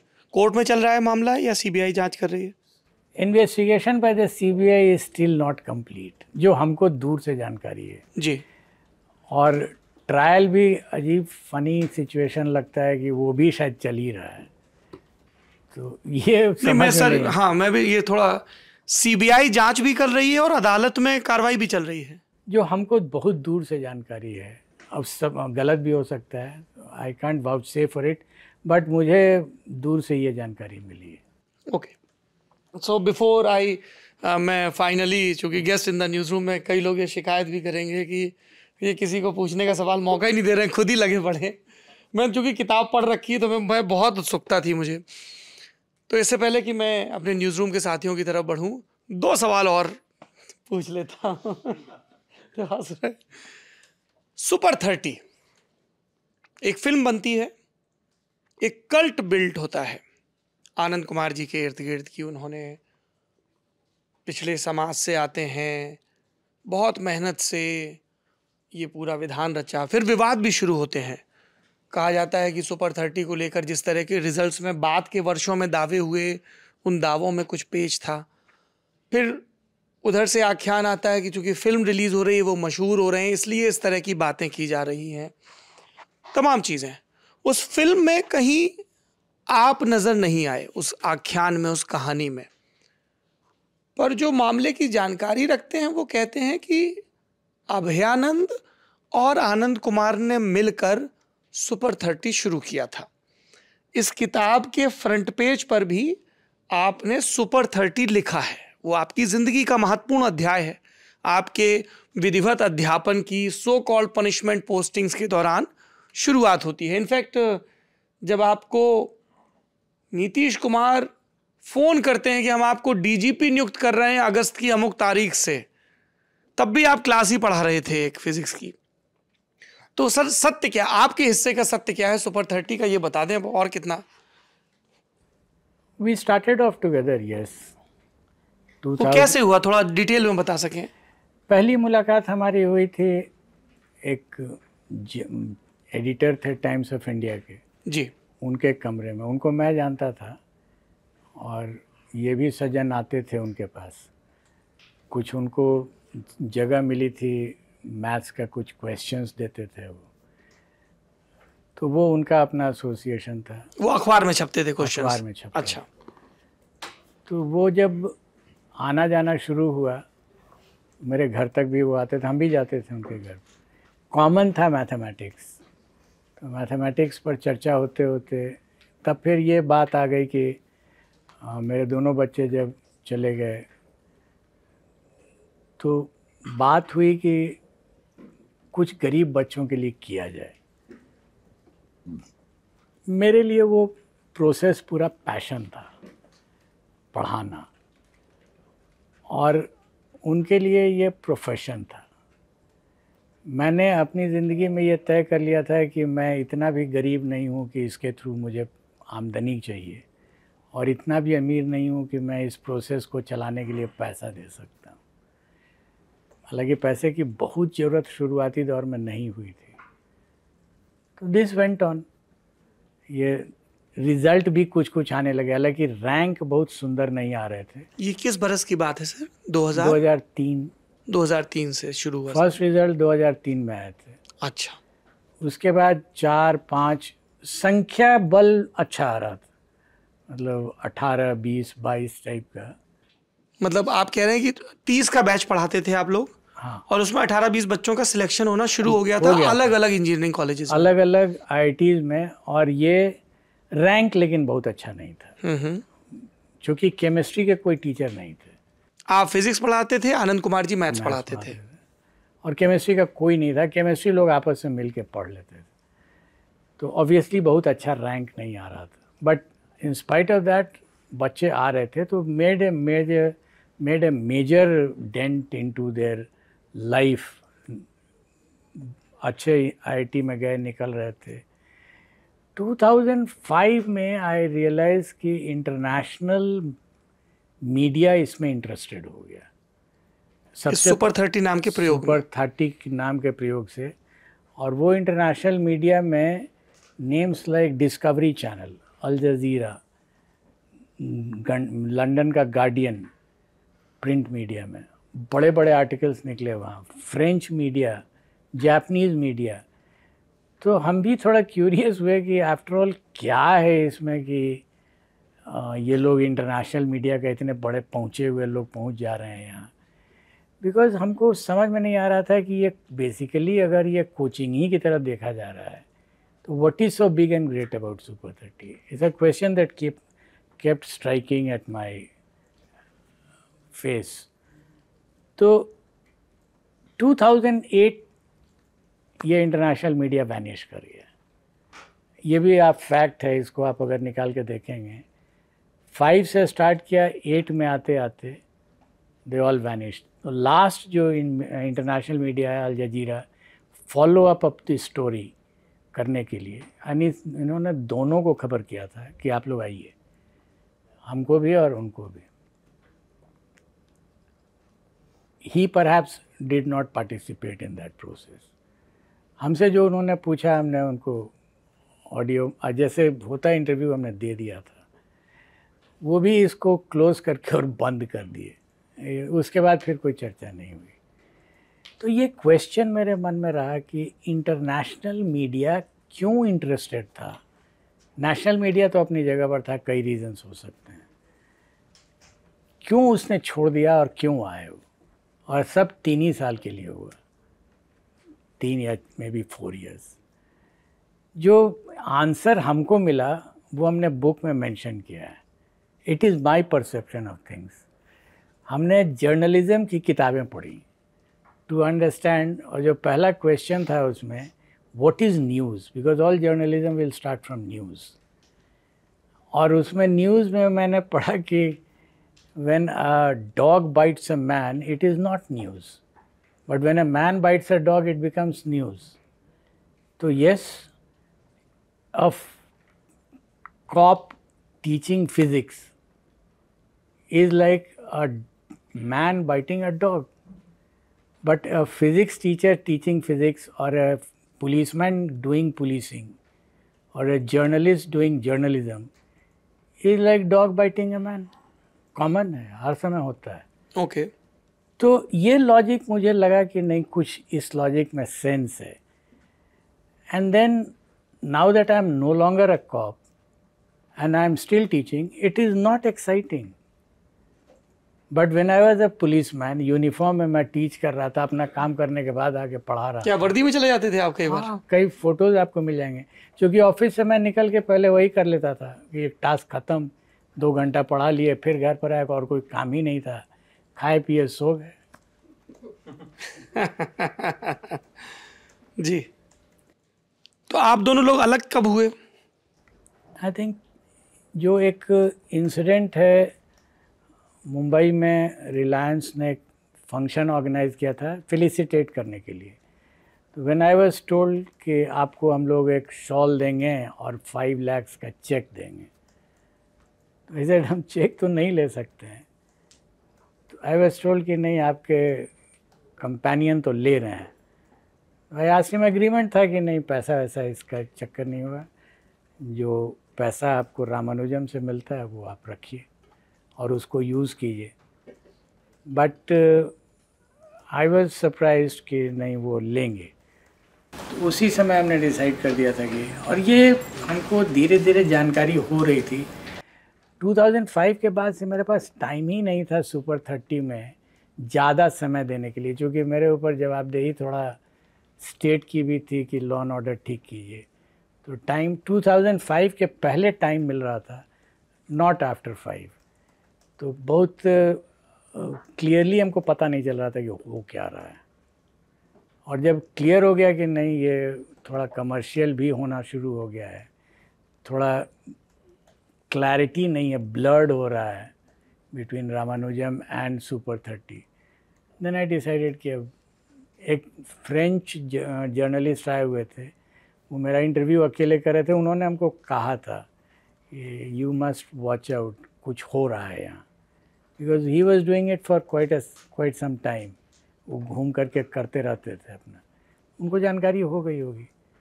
I didn't accept it then but when this happened तो हमको लगा कि नहीं, अब it's time that I quit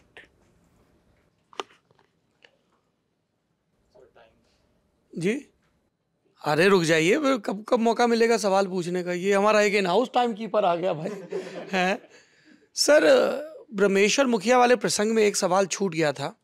जब उनका दाह संस्कार होता है और गुस्साई भीड़ राजधानी पटना में तोड़फोड़ कर रही होती है। और अगले दिन अखबारों में विस्तार से ये घटना छपती है। और आपको लगता है कि उसमें भी अभी आप मीडिया का ज़िक्र कर रहे थे, कोई साजिश रही होगी।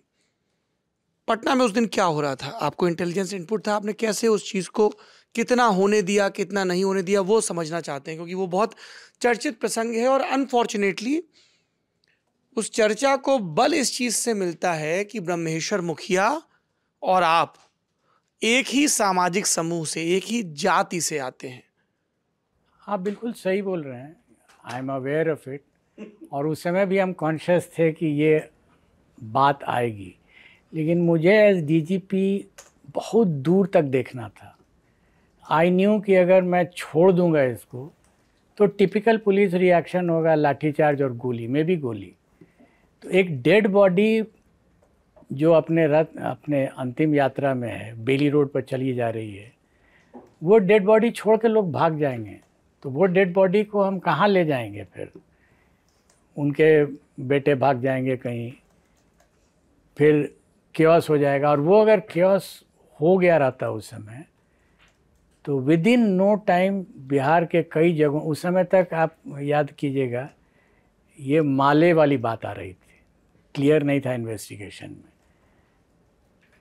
तो ये यात्रा अगर रुक गई, और मुखाग्नि, फिर उसके बाद देगा कौन? जो सज्जन है उनके बेटे। वो भी भाग जाएँगे वहाँ से। उनके दो बेटे थे, एक आए ही नहीं, और एक जो आए थे, वो अगर उतर के भाग गए वहाँ से तो हम ये डेड बॉडी लेके कहाँ जाएँगे? उसके बाद जो रिएक्शंस आएगा पूरे बिहार से, बस्ती जला दी गई, लखीसराय। आरा से दूसरी खबर आने लगेगी। तो ये आई कुड सी कि नो वे ये हैंडल ही नहीं हो पाएगा। इसलिए बेहतर है कि तीन चार घंटे का ये अगर आप कहें जो भी शब्द इस्तेमाल करें। तीन चार घंटे तक राजधानी में उत्पात मचाने दिया जाए भीड़ को।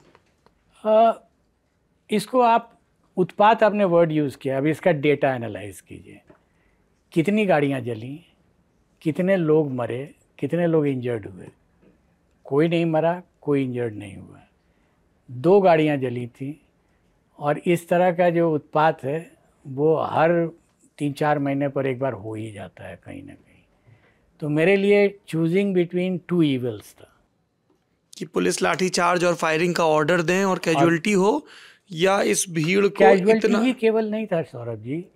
उसका कॉन्सिक्वेंसेस राज्य के दूसरे जिलों में और कई दिनों तक कितने समय तक तो फिर वहीं से और न्यूज़ चैनल लगातार लाइव स्ट्रीम कर रहे थे हाँ, इसको। बिल्कुल। उसका भी दबाव था? हाँ हम आपको बताते हैं उसका दबाव क्या था। वॉइस हमने शुरू में सुना था और it was very critical it was कोई भी आदमी अगर उतनी बात सुनेगा तो उसको परेशानी तो होगी। तो हमने एक तरीका अपना लिया कि उसके ऑडियो को म्यूट कर दिया हमने। और सिर्फ़ विजुअल देख रहे थे हम। विजुअल से हमको क्लियर मिल रहा था कि इंटेंशन क्या है। प्रोसेशन आगे आगे चल रहा है तो आई कुड कैलकुलेट कि अभी कितने देर में पहुँच जाएगा वहाँ तक।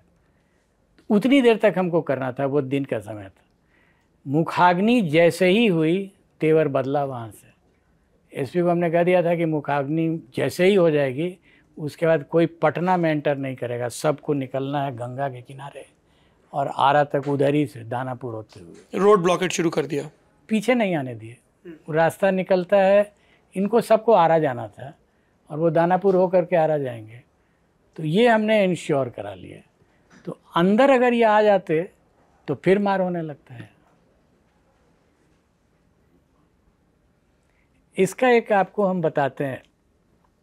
इस इंसिडेंट को कई लोगों ने डिस्कस किया हमसे। एक सर्जन थे बूढ़े सर्जन उनसे बोले जानते हो छोटे हैं मैं उनसे।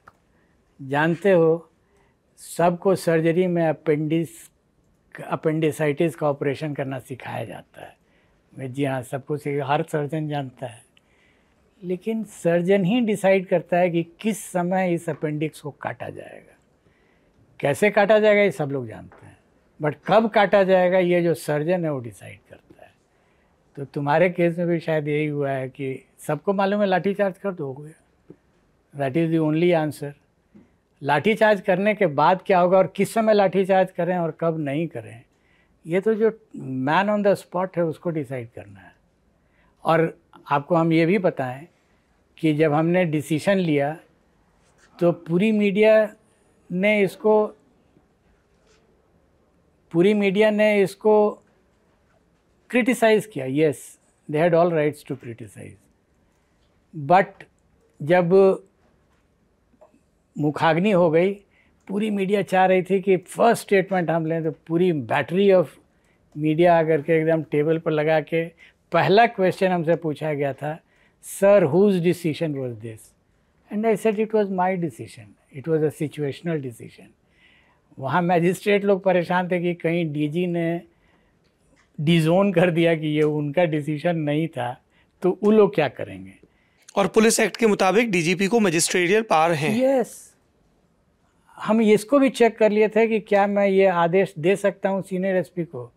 This prince this section of the police act has never been used और I knew that I be well within my rights ठीक है उसका डिसीज़न अगर गलत हो जाएगा तो I take responsibility and what was your briefing to chief minister Nitish Kumar जब ये सब हो रहा था? नथिंग अरे आप ब्लास्ट में जैसे अपडेट कर रहे थे वैसे इस हाँ, पर भी तो नहीं उनकी भी नज़र होगी। Watching on the TV he was not in Patna he was at Bhagalpur और I was taking my decision last में हमने उनको लगता है कि जब डाक बंगला चौराहे पर था तो हमने कहा कि सर थोड़ा ज़्यादा ही हो रहा है। उन्होंने कहा इतनी देर आप धैर्य रखे हैं तो थोड़ी देर और धैर्य रख लीजिए। ये नीतीश कुमार ने कहा। क्योंकि वहाँ से पंद्रह मिनट में मुखाग्नि हो जाने वाली थी। वो अशोक राजपथ से आगे बढ़ते हुए और और चूँकि वहाँ कमर्शियल जगह हाँ, भी बहुत है वहाँ डाक बंगला चौराहे के। पहला वाला जो था डाक इनकम टैक्स गोलाम गोलम्बर पर वहाँ पर सरकारी बिल्डिंग्स हैं। हम्म। वहाँ थोड़ा प्रॉब्लम हुआ था। उसके बाद जो गोलम्बर है वो चौराहे को बिहार में गोलम्बर बोलते हैं जी। हाँ तो वो कमर्शियल था। पब्लिक थी। उसमें हमको डर लग रहा था कि अगर पब्लिक अफेक्टेड हो शुरू हो जाए कुछ हो जाए तो आर्सन शुरू हो जाएगा और then I be but I was taking my decision and I was standing by it ऊपर वाले being realistic and long term चलिए हाँ ये ये संदीप हैं सर? हेलो सर बिहार से ही हैं। जी। हम एकलव्य में पढ़े हैं तो हम अपना परिचय आपको पहले देना चाहते हैं। एकलव्य क्या है? एकलव्य एजुकेशनल कॉम्प्लेक्स स्कूल था। जब सर के बिल्डिंग सर का बड़ा पटेल नगर में घर है सर का। पैतृक प्रॉपर्टी पिताजी। मेरे पैतृक प्रॉपर्टी हाँ, प्रॉपर्टी है तो। उसी बिल्डिंग में सर ने किराए पे वो दो से तीन फ्लोर स्कूल को दे रखा था तो वहाँ स्कूल चलता था। तो बड़ा मुझे बड़ी खुशी होती है। मतलब सर ने पूरा स्टेट झेला है। मुझे आज आश्चर्य होता है कि शाम में कैसे स्कूल झेलते थे। 500 से 600 बच्चे दिन भर पागलों की तरह चिल्लाते हुए अजीब अजीब हरकतें करते हुए पर सर ने झेला है वो। तो वो स्कूल आपने आपके पिताजी ने क्या है उसकी कहानी? नहीं वो किराए पर था। अच्छा। वो एक क्लब एक इंस्टीट्यूशन है जिसने मेरे फादर से किराए पर लिया था। उस स्कूल के किराए से भी हमारा मतलब नहीं था। और स्कूल की पढ़ाई से भी मेरा पर मतलब उसके शोर शराबे से मतलब था क्योंकि वो घर तक आता होगा। मैं एक सीढ़ी थी फ़र्स्ट फ्लोर पे मैं रहता था दो कमरे ने पिताजी ने दे दिए थे। तो एकदम उतरता था ऑफ़िस से और सीधे सर नीचे किए हुए ऊपर चला गया फिर अपने दो कमरे में। हाँ। आ, आ, मेरा सवाल यही था आपसे मैं आरा वाले एपिसोड के बारे में ब्रह्मेश्वर मुखिया वाले में ही पूछना चाह रहा कि आपने कहा कि मैं मैन ऑफ़ स्पॉट था मैंने बहुत सारे प्रैक्टिकल डिसीज़न लिए। मैंने सोचा कि दूर में क्या हो सकता है दूरगामी इसके फैसले का रिज़ल्ट क्या हो सकता है मैं उस हिसाब से लिया लेकिन आपने ये बात भी मुझे बताई कि उसके बेटे से हमने एफआईआर को लेकर उसको थोड़ा सा स्पेसिफाई करने की कोशिश की थी कि ओपन एफआईआर करो। तो आपने उस वक्त ये बात नहीं कही थी कि ये दाह संस्कार आसपास के इलाके में कर लो पटना तक क्यों ले जाना चाहते हो very good question very good इसका हम फैक्ट्स आपको बताते हैं। हमने शाम में जब पोस्टमार्टम होके आ गया तो हमने शाम में उससे पूछा कि क्या विचार है। You are station at Arrah I was station retire बहुत लेट नाइट तक थे हम। तो उससे हमने कहा कि गाँव ले जाओ। गाँव का भी नाम बगल ही में गाँव है उनका। बोले नहीं सर हम लोग गाँव में नहीं कर पाएँगे। ऐसे ठीक है तो फिर बक्सर ले जाओ वहाँ घाट जो है उसमें कर लो। व्यवस्था हम कर देते हैं। इट वॉज़ एग्रीड कि हम बक्सर ले जाएँगे। और हमने डीएम को रिक्वेस्ट करके गाड़ी वाड़ी भी व्यवस्था कर दी। वहाँ एसपी बक्सर को भी हमने कहा डीएम बक्सर को कहा कि करवाइए वहाँ डेड बॉडी जा रहा है। और तब तक भूख से हम बहुत परेशान थे।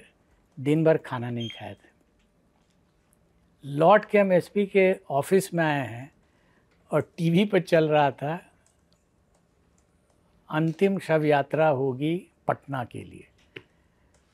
तो समझ में नहीं आया फिर हमको जानकारी मिली कि हमारे हटने के बाद वहीं पर इर्द गिर्द में कुछ नेतागण इंपॉर्टेंट लोग थे, वो लोग थे, हमारे रहते रहते घर पे नहीं आए थे वो।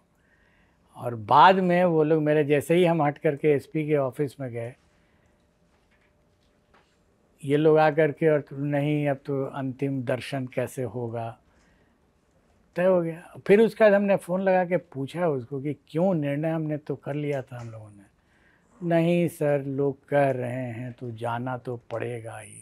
भूमिहारों का शक्ति प्रदर्शन ऐसे कहा गया इसको। कुछ हो सकता है वैसे ही कुछ बात हुई होगी। I am not sure about the words but हुआ यही था। तो हमने कहा कि अब हम लीगली हम उसको रोक नहीं सकते हैं। कि आप कहाँ अपना दास परिवार का फैसला है। परिवार का फैसला है तो हमने कहा ठीक है तो फिर कोई हम एंटिसिपेट तो कर ही रहे थे आपको आशंका थी कि पटना में अगर होगा तो हिंसा भड़केगी अदरवाइज़ हम पटना ही हम ही ऑफ़र कर देते। बट आई न्यू कि अगर होना ही है तो बक्सर जैसे छोटी जगह में होगा और वहीं पर जा और बक्सर अच्छी जगह थी। बट उसके बाद तो हुआ जो इतिहास। जी दिव्यांशी। सर मेरा सवाल आप क्योंकि टीचर हैं उससे रिलेटेड है। हम जब मैथ्स पढ़ते थे और कैलकुलस आता था तो हमें बिना रिलेशन और फ़ंक्शन समझाए बता दिया जाता था कि ऐसे कर लीजिए। और ये मेरे स्कूल टाइम से लेकर ट्यूशन से लेकर और आई टी जेई की जो मैंने कोचिंग की, उसमें भी यही होता था। तो बेसिक समझाने और ट्रिक्स बताने में मैं हमेशा इस चीज़ से जूझती रही, इसलिए मैंने अपने आप को पढ़ाना स्टार्ट कर दिया। तो हाउ डू यू थिंक कि ये अफेक्ट करता है एक स्टूडेंट की जिस तरह से वो पढ़ना चाहता है और क्या चेंजेस इसमें आ सकते हैं एज अ टीचर सर, इसमें एक सप्लीमेंट्री सवाल। इन्होंने तो ग्रेजुएशन तक साइंस की पढ़ाई की की तो हमने भी है। पर जिस तरह से विज्ञान पढ़ाया जाता है, सर, बड़ा डरा के, रटा के, हवा सा हो जाता है, भय सा लगता है तो उस मैकेनिज्म में कैसे बदलाव किया जाए? मतलब हमको तो कई बार लगा कि वो कौन सा बदमाश बंदर है जो पुली पे बैठा है कमबख्त ऊपर कर रहा है नीचे कर रहा है उसको चार दाना चने का फेंक के मारो भग जाए वो सवाल ही खत्म हो जाए हमेशा के लिए दुनिया से। हाँ? ऐसे हाँ, ऐसी हाँ, बदमाश बंदर बैठा है पुली ऊपर पुली नीचे। नहीं आपने बहुत ही रोचक रूप से इस प्रश्न को किया है। इसका जो फिलोसॉफिकल आंसर है वो ये कि बहुत बचपन से छोटे से बच्चे ह्यूमन बीइंग का जो माइंड होता है ना, वो संग्रह करने के लिए नहीं बना है। वो सृजन करने के लिए बना है। कम जानिए और क्रिएट कर लीजिए। तो ये तभी शुरू होगा जब आप उससे सृजन करने वाले प्रश्न कीजिएगा। आप you treat this as a repository of information ये इन्फॉर्मेशन गैदर करने के लिए नहीं है, ये फैक्ट्स क्रिएट करने के लिए। आप दो चीज़ जानते हैं, आपको हम दूसरे तरीके से एक्सप्लेन करते हैं। ये इतने सामान आपके हॉल में है यहाँ। आप इसी सामान को डिसेबल्ड वे में इधर उधर कर दीजिए। क्वांटिटी उतना ही रहता है। और क्वालिटी वाइज एकदम क्योटिक लगेगा। Right right? तो वही हो रहा है हम लोगों के साथ भी। हम इंफॉर्मेशन को ऐसे क्लटर करते हैं। और अगर हम दो इन्फॉर्मेशन दें और कहें कि चार आप अपने से क्रिएट कीजिए क्वेश्चन हम पूछेंगे आपसे। तो दैट इज़ वाई मेरे लिए एक टीचर की परिभाषा है one who doesn't give the right answer but keeps asking the right questions interesting ji geisha ये मैनेजमेंट और ह्यूमन स्पिरिट से रिलेटेड सवाल है मेरा कि आप साइंटिफिक टेम्परमेंट के इंसान हो और आप अच्छा काम करने की कोशिश कर रहे हो बट कभी आप चेंज लाते हो तो you are met with resistance right जैसे पनिशमेंट पोस्टिंग की भी बात हुई है। और आप जानते हो कि ऐसा हो रहा है। तो उस उस स्टेट ऑफ़ माइंड में कैसे डीमोटिवेट ना होकर यू कंटिन्यू वर्किंग जैसे डेली क्राइम आ रहा है। ट्रेलर में वो कहते हैं कि हम क्या गलत कर रहे हैं। क्राइम ख़त्म ही नहीं होता। तो आपको कभी ऐसे थक हार के आपको लगता है कि क्या क्या ही करूँ मैं और? जैसे आपने ज़िक्र भी किया कि हम चाह रहे थे कि एक प्रतिष्ठित वैज्ञानिक आके इस लैब को संभाल ले, पर वो बाबूशाही में फाइलें घूम रही हैं तो आपका अपना मोटिवेशनल फैक्टर क्या रहता है? मोटिवेशन एंड जो एक शब्द है demoralise lack of motivation and demoralisation inversely proportional है right if you have sorry motivation and demoralisation ये दोनों lack of motivation and demoralisation करीब करीब एक ही चीज़ हो जाती है। आपको मैं एक सेंटेंस बताऊँ जो हमने बहुत शुरू में देखा था और सुना था बहुत पहुँचे हुए लोगों से। डिमोरलाइज आदमी अपने अंदर से हो सकता है, वो बाहर के फैक्टर से नहीं होता है। आप अपने कुकृत्य से डिमोरलाइज हो सकते हैं, लेकिन अगर कोई दूसरा आदमी चाहे कि आपको डिमोरलाइज कर दें तो ये नहीं होता है। दूसरा आदमी आपको कोशिश करके भी डिमोटिवेट नहीं कर सकता है। ये आपके अंदर ही से आएगा और आपके अंदर ही में ये ग्रो भी करता है। मोटिवेशन आपके अंदर से आता है। बाहर से कोई एक्सटर्नल फैक्टर इसको इन्फ्लुएंस नहीं कर सकता है। Except you yourself ji Neeraj. Sir आपकी नज़र में सुपर कॉप कौन है? जो एक सिनेमा में गढ़ा जाता है एक जिस तरह की पुलिस की इमेज यहाँ तक मूछें और बंदूक पिस्टल चश्मा तो वो सुपर कॉप है क्या सर? सिंघम है सिंघम हाँ मैं नाम नहीं लेना चाह रहा। हाँ दबंग सिंघम जी हाँ। है चुलबुल पांडे। एक तरफ़ सर अगर कोई पुलिस कर्मी इस तरह से हरकत करता है कि वो लड़की को थप्पड़ मार दे या बीस लोगों को एक साथ पीट दे कुछ भी कर दे मतलब उनके लिए कुछ नहीं होता वो हम लोग उस पर तालियाँ बजाते हैं। लेकिन सुपर कॉप अगर इस तरह से सामने अगर आ जाए इस तो ये मतलब वैल्यूवेल नहीं होगा सोसाइटी के लिए। तो ये ये कहना चाह रहे हैं कि सुपर कॉप शब्द तो आपके लिए भी इस्तेमाल होता है। पर आप देखने में हमारे घर के दादाजी जैसे लग रहे हैं एकदम कुर्ता पजामा पहने हुए हैं। तो हम आपको इमेजिन नहीं कर पा रहे हैं कि आप जिप्सी के बोनट पे बैठे होंगे बेल्ट हिला के डांस कर रहे होंगे उछल उछल के गोलियाँ चला रहे होंगे है ना? हेलीकॉप्टर पे लटके होंगे ऐसे गुंडे बदमाशों को पकड़ रहे होंगे आता माजी से टकली कर रहे होंगे। आपने ये नहीं किया। और मुझे ये भी याद आ रहा है on a serious note your conversation with your chief minister Nitish Kumar जब वो कहते हैं कि वर्दी का रौब कायम हो जाए और आप कुछ जवाब देते हैं, वो जवाब बता दें दर्शकों को।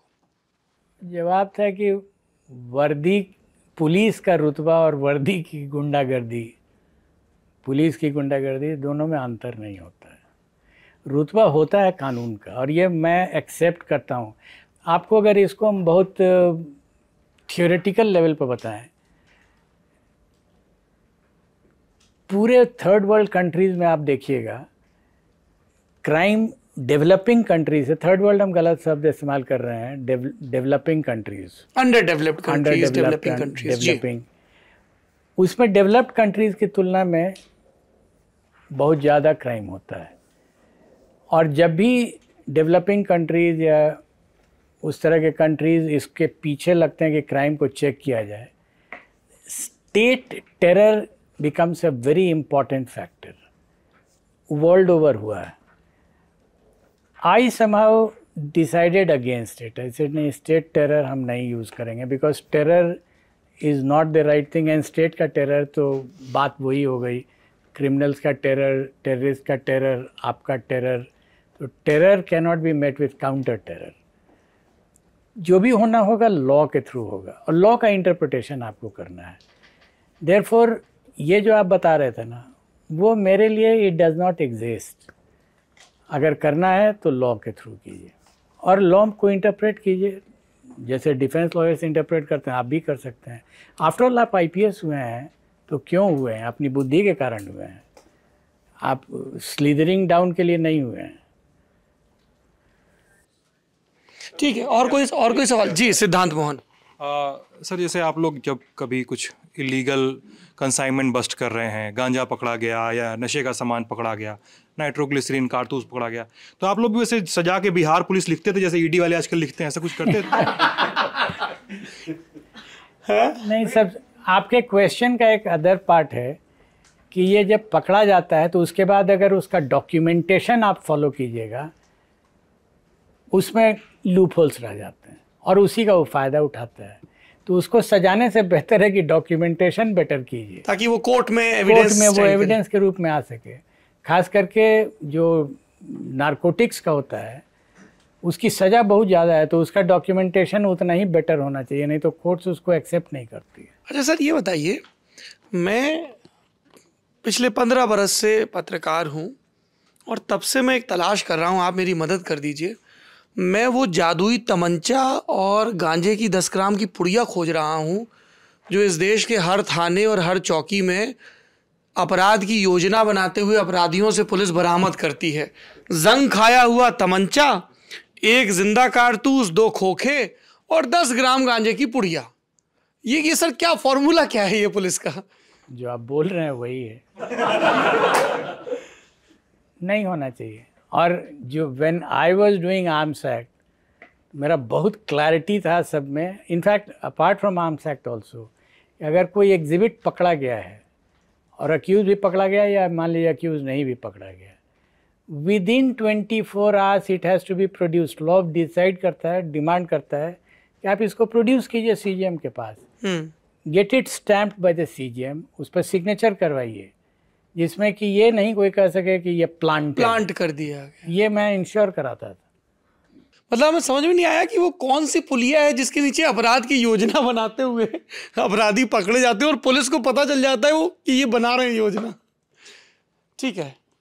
अच्छा उधर भी हैं सवाल। जी फटाफट पूछिए। नहीं दीपक जी बोल चुके समय कमी सोनल। आपने जिस राज्य में इतने साल काम किया वहाँ से कुछ दिन पहले एक तस्वीर आई थी एडीएम के के सिंह की। जहाँ पर जो बच्चे विरोध प्रदर्शन कर रहे थे उनको लाठियों से मारा गया। इतना मारा गया कि खून निकलने लगा और तब भी वो रुक नहीं रहे थे। कई बार कहा जाता है कि सिचुएशन कंट्रोल करने के लिए पुलिस वालों को ये रवैया अपनाना पड़ता है। और दूसरी तरफ़ हम दिल्ली की तस्वीरें देखते हैं जहाँ पर पुलिस वाले कभी गुलाब देकर प्रदर्शनकारियों को शांत कराते हैं। तो दिल्ली में भी लाठी चलाते हैं। लाठी चलती है कभी कभी ऐसी तस्वीर भी। तो इस लेवल तक ग्राउंड सिचुएशन पर चले जाना आप इसको सही मानते हैं? सर, और वो इसमें एक और सवाल है कि एक तो एडीएम साहब लाठी चला रहे थे और दूसरा कहा जाता है कि वो ट्रांसपेरेंट लाठी इसलिए लाया गया है कि वो फोटोग्राफी वाले कैमरा में आता नहीं जब लहरा के वो पड़ता है पुट्ठों पे, बाँस वाला लाठी आ जाता था। और सर, वो जो कहानियाँ सुनाई जाती हैं कि वो थर्ड डिग्री टॉर्चर उल्टा लटका के और यहाँ मारो तो चोट नहीं आएगी, वहाँ मारो तो चोट आएगी। और पीटने के तुरंत बाद कुछ गर्म ना पीने दो या ठंडा ना पीने दो, इस तरह की चीज़ें। अनफॉर्चुनेटली इस तरह की चीज़ें हुई हैं और वर्षों से होती आ रही हैं। Over a period of time कमा है, पहले की अपेक्षा कम हुआ है।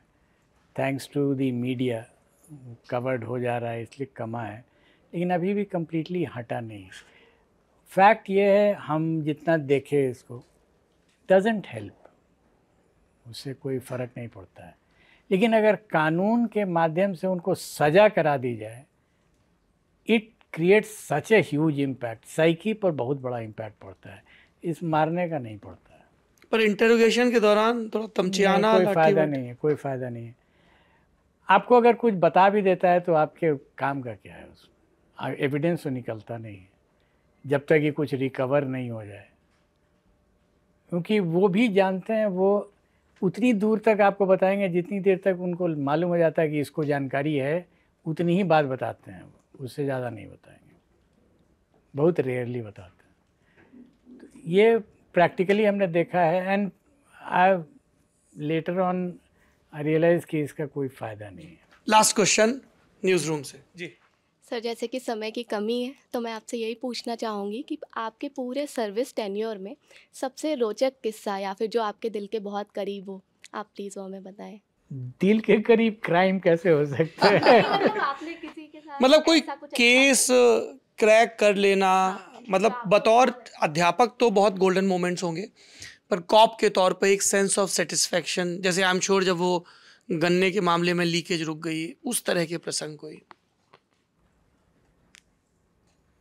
Nothing that comes to mind immediately but जो अंडरस्टैंडिंग हमने डेवलप की थी इकोनॉमिक्स ऑफ़ क्राइम की, वो हमने मेंशन किया है इसमें। एक सज्जन थे, वो मिनी गन फैक्ट्री चलाते थे।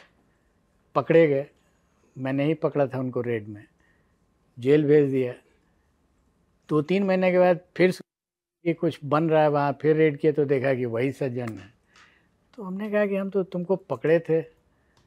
बोला हाँ सर तीन महीने में बेल हो गया। ज़्यादा घाटा नहीं हुआ है बिज़नेस में। उसने कैलकुलेट करके बता दिया कि इतना बेल कराने में लगा और इतने दिनों का लॉस हुआ है। तो आई कैन रिकवर इट पाँच छः महीने और काम करेंगे तो रिकवर हो जाएगा। अब आप आ गए हो तो फिर से बैलेंस शीट गड़बड़ हो गया। या तो ये समझ में आने लगी थी बात कि ये पकड़ लिया जेल भेज दिया चार्जशीट कर दिया।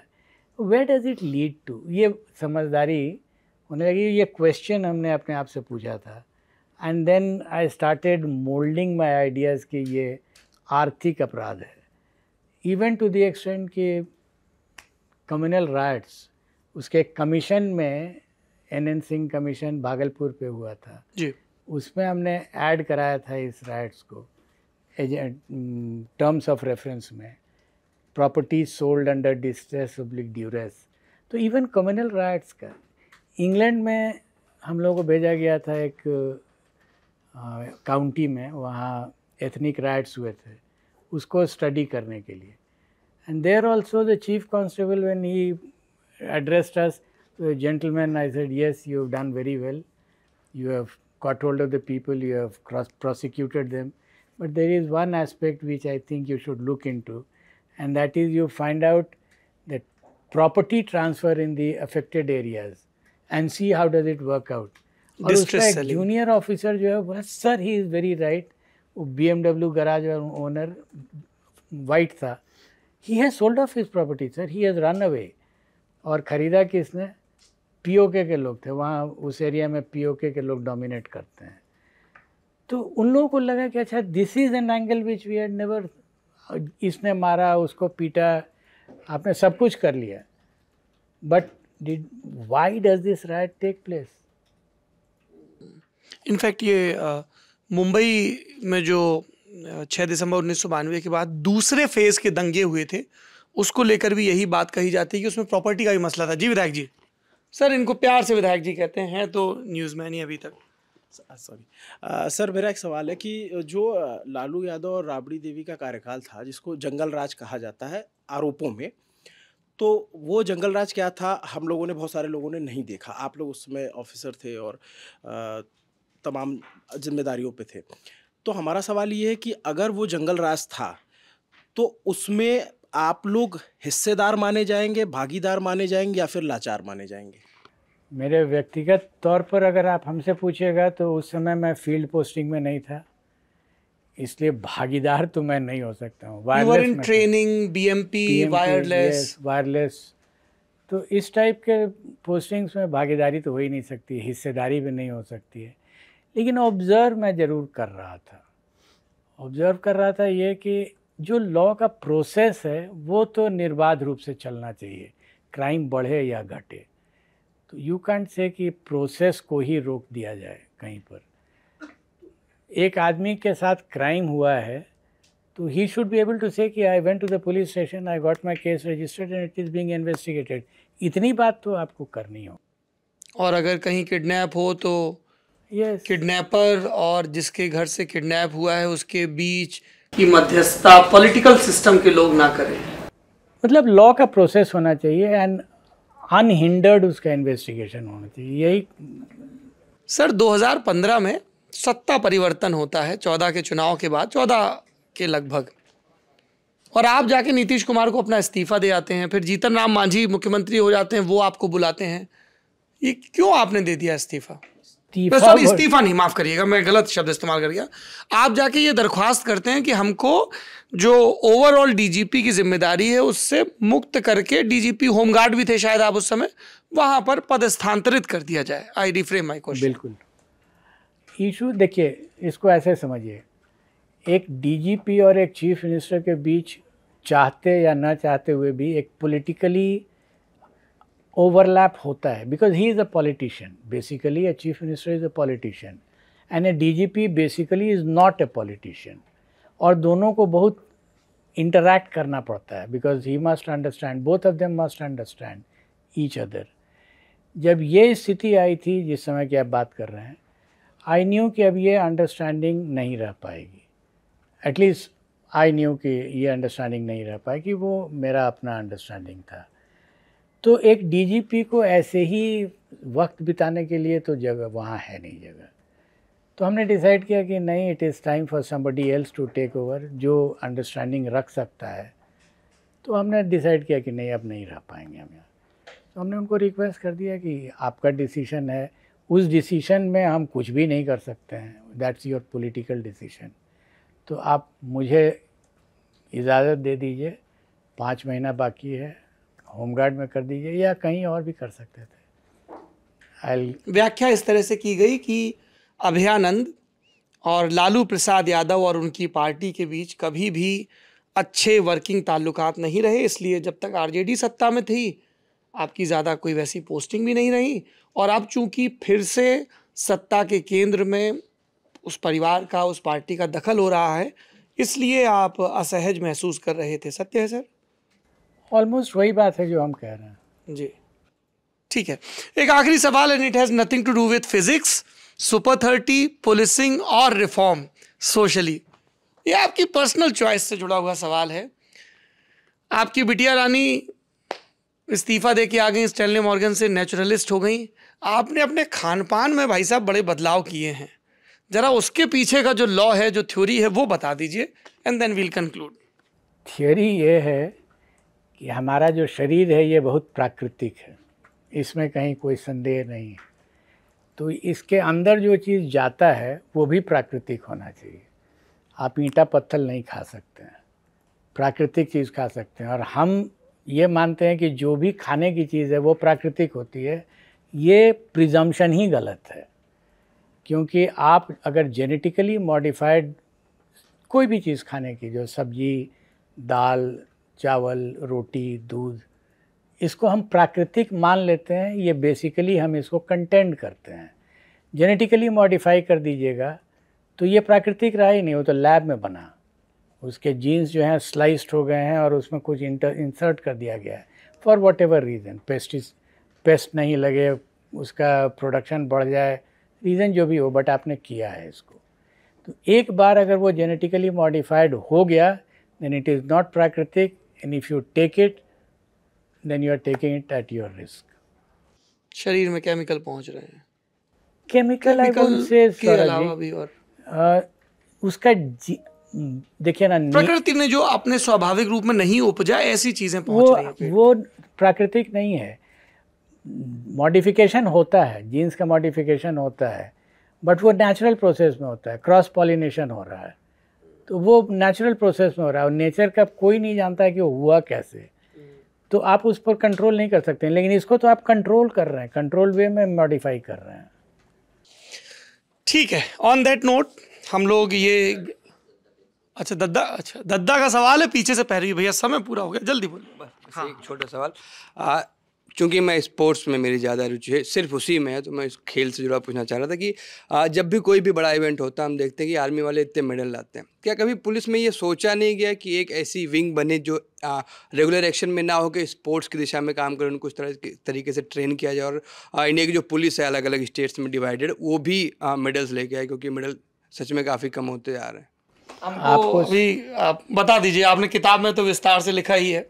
बताइए स्पोर्ट्स में भी मेरा पर्सनली तो मेरा स्पोर्ट्स में इंटरेस्ट नहीं था, लेकिन स्पोर्ट्स ग्रो कैसे हो अमंग्स पुअर चिल्ड्रन उसका भी एक सुपर थर्टी बना। और हमारे यहाँ एक एडिशनल डीजी हैं मिस्टर रविंद्रन उनको हमने, उनको स्पोर्ट्स में बहुत इंटरेस्ट है तो उनको हमने ये जिम्मा दिया। और आज के डेट में आप विश्वास नहीं करेंगे there are many many children of constables and poor people जो उस ग्रुप के थ्रू आगे बढ़ रहे हैं और इंटरनेशनली खेल रहे हैं लोग। और बहुत हालाँकि अनफॉर्चुनेटली बीएमपी में वो प्रयोग आपके टेन्योर के बाद कंटिन्यू नहीं हुआ जो कोचेस हाल में आए हैं सरकार ने उनको एक जॉब दे दिया है apart from his ADG work sports authority का। तो वो now he is excited about it and he is doing it अच्छा कर रहे हैं वो।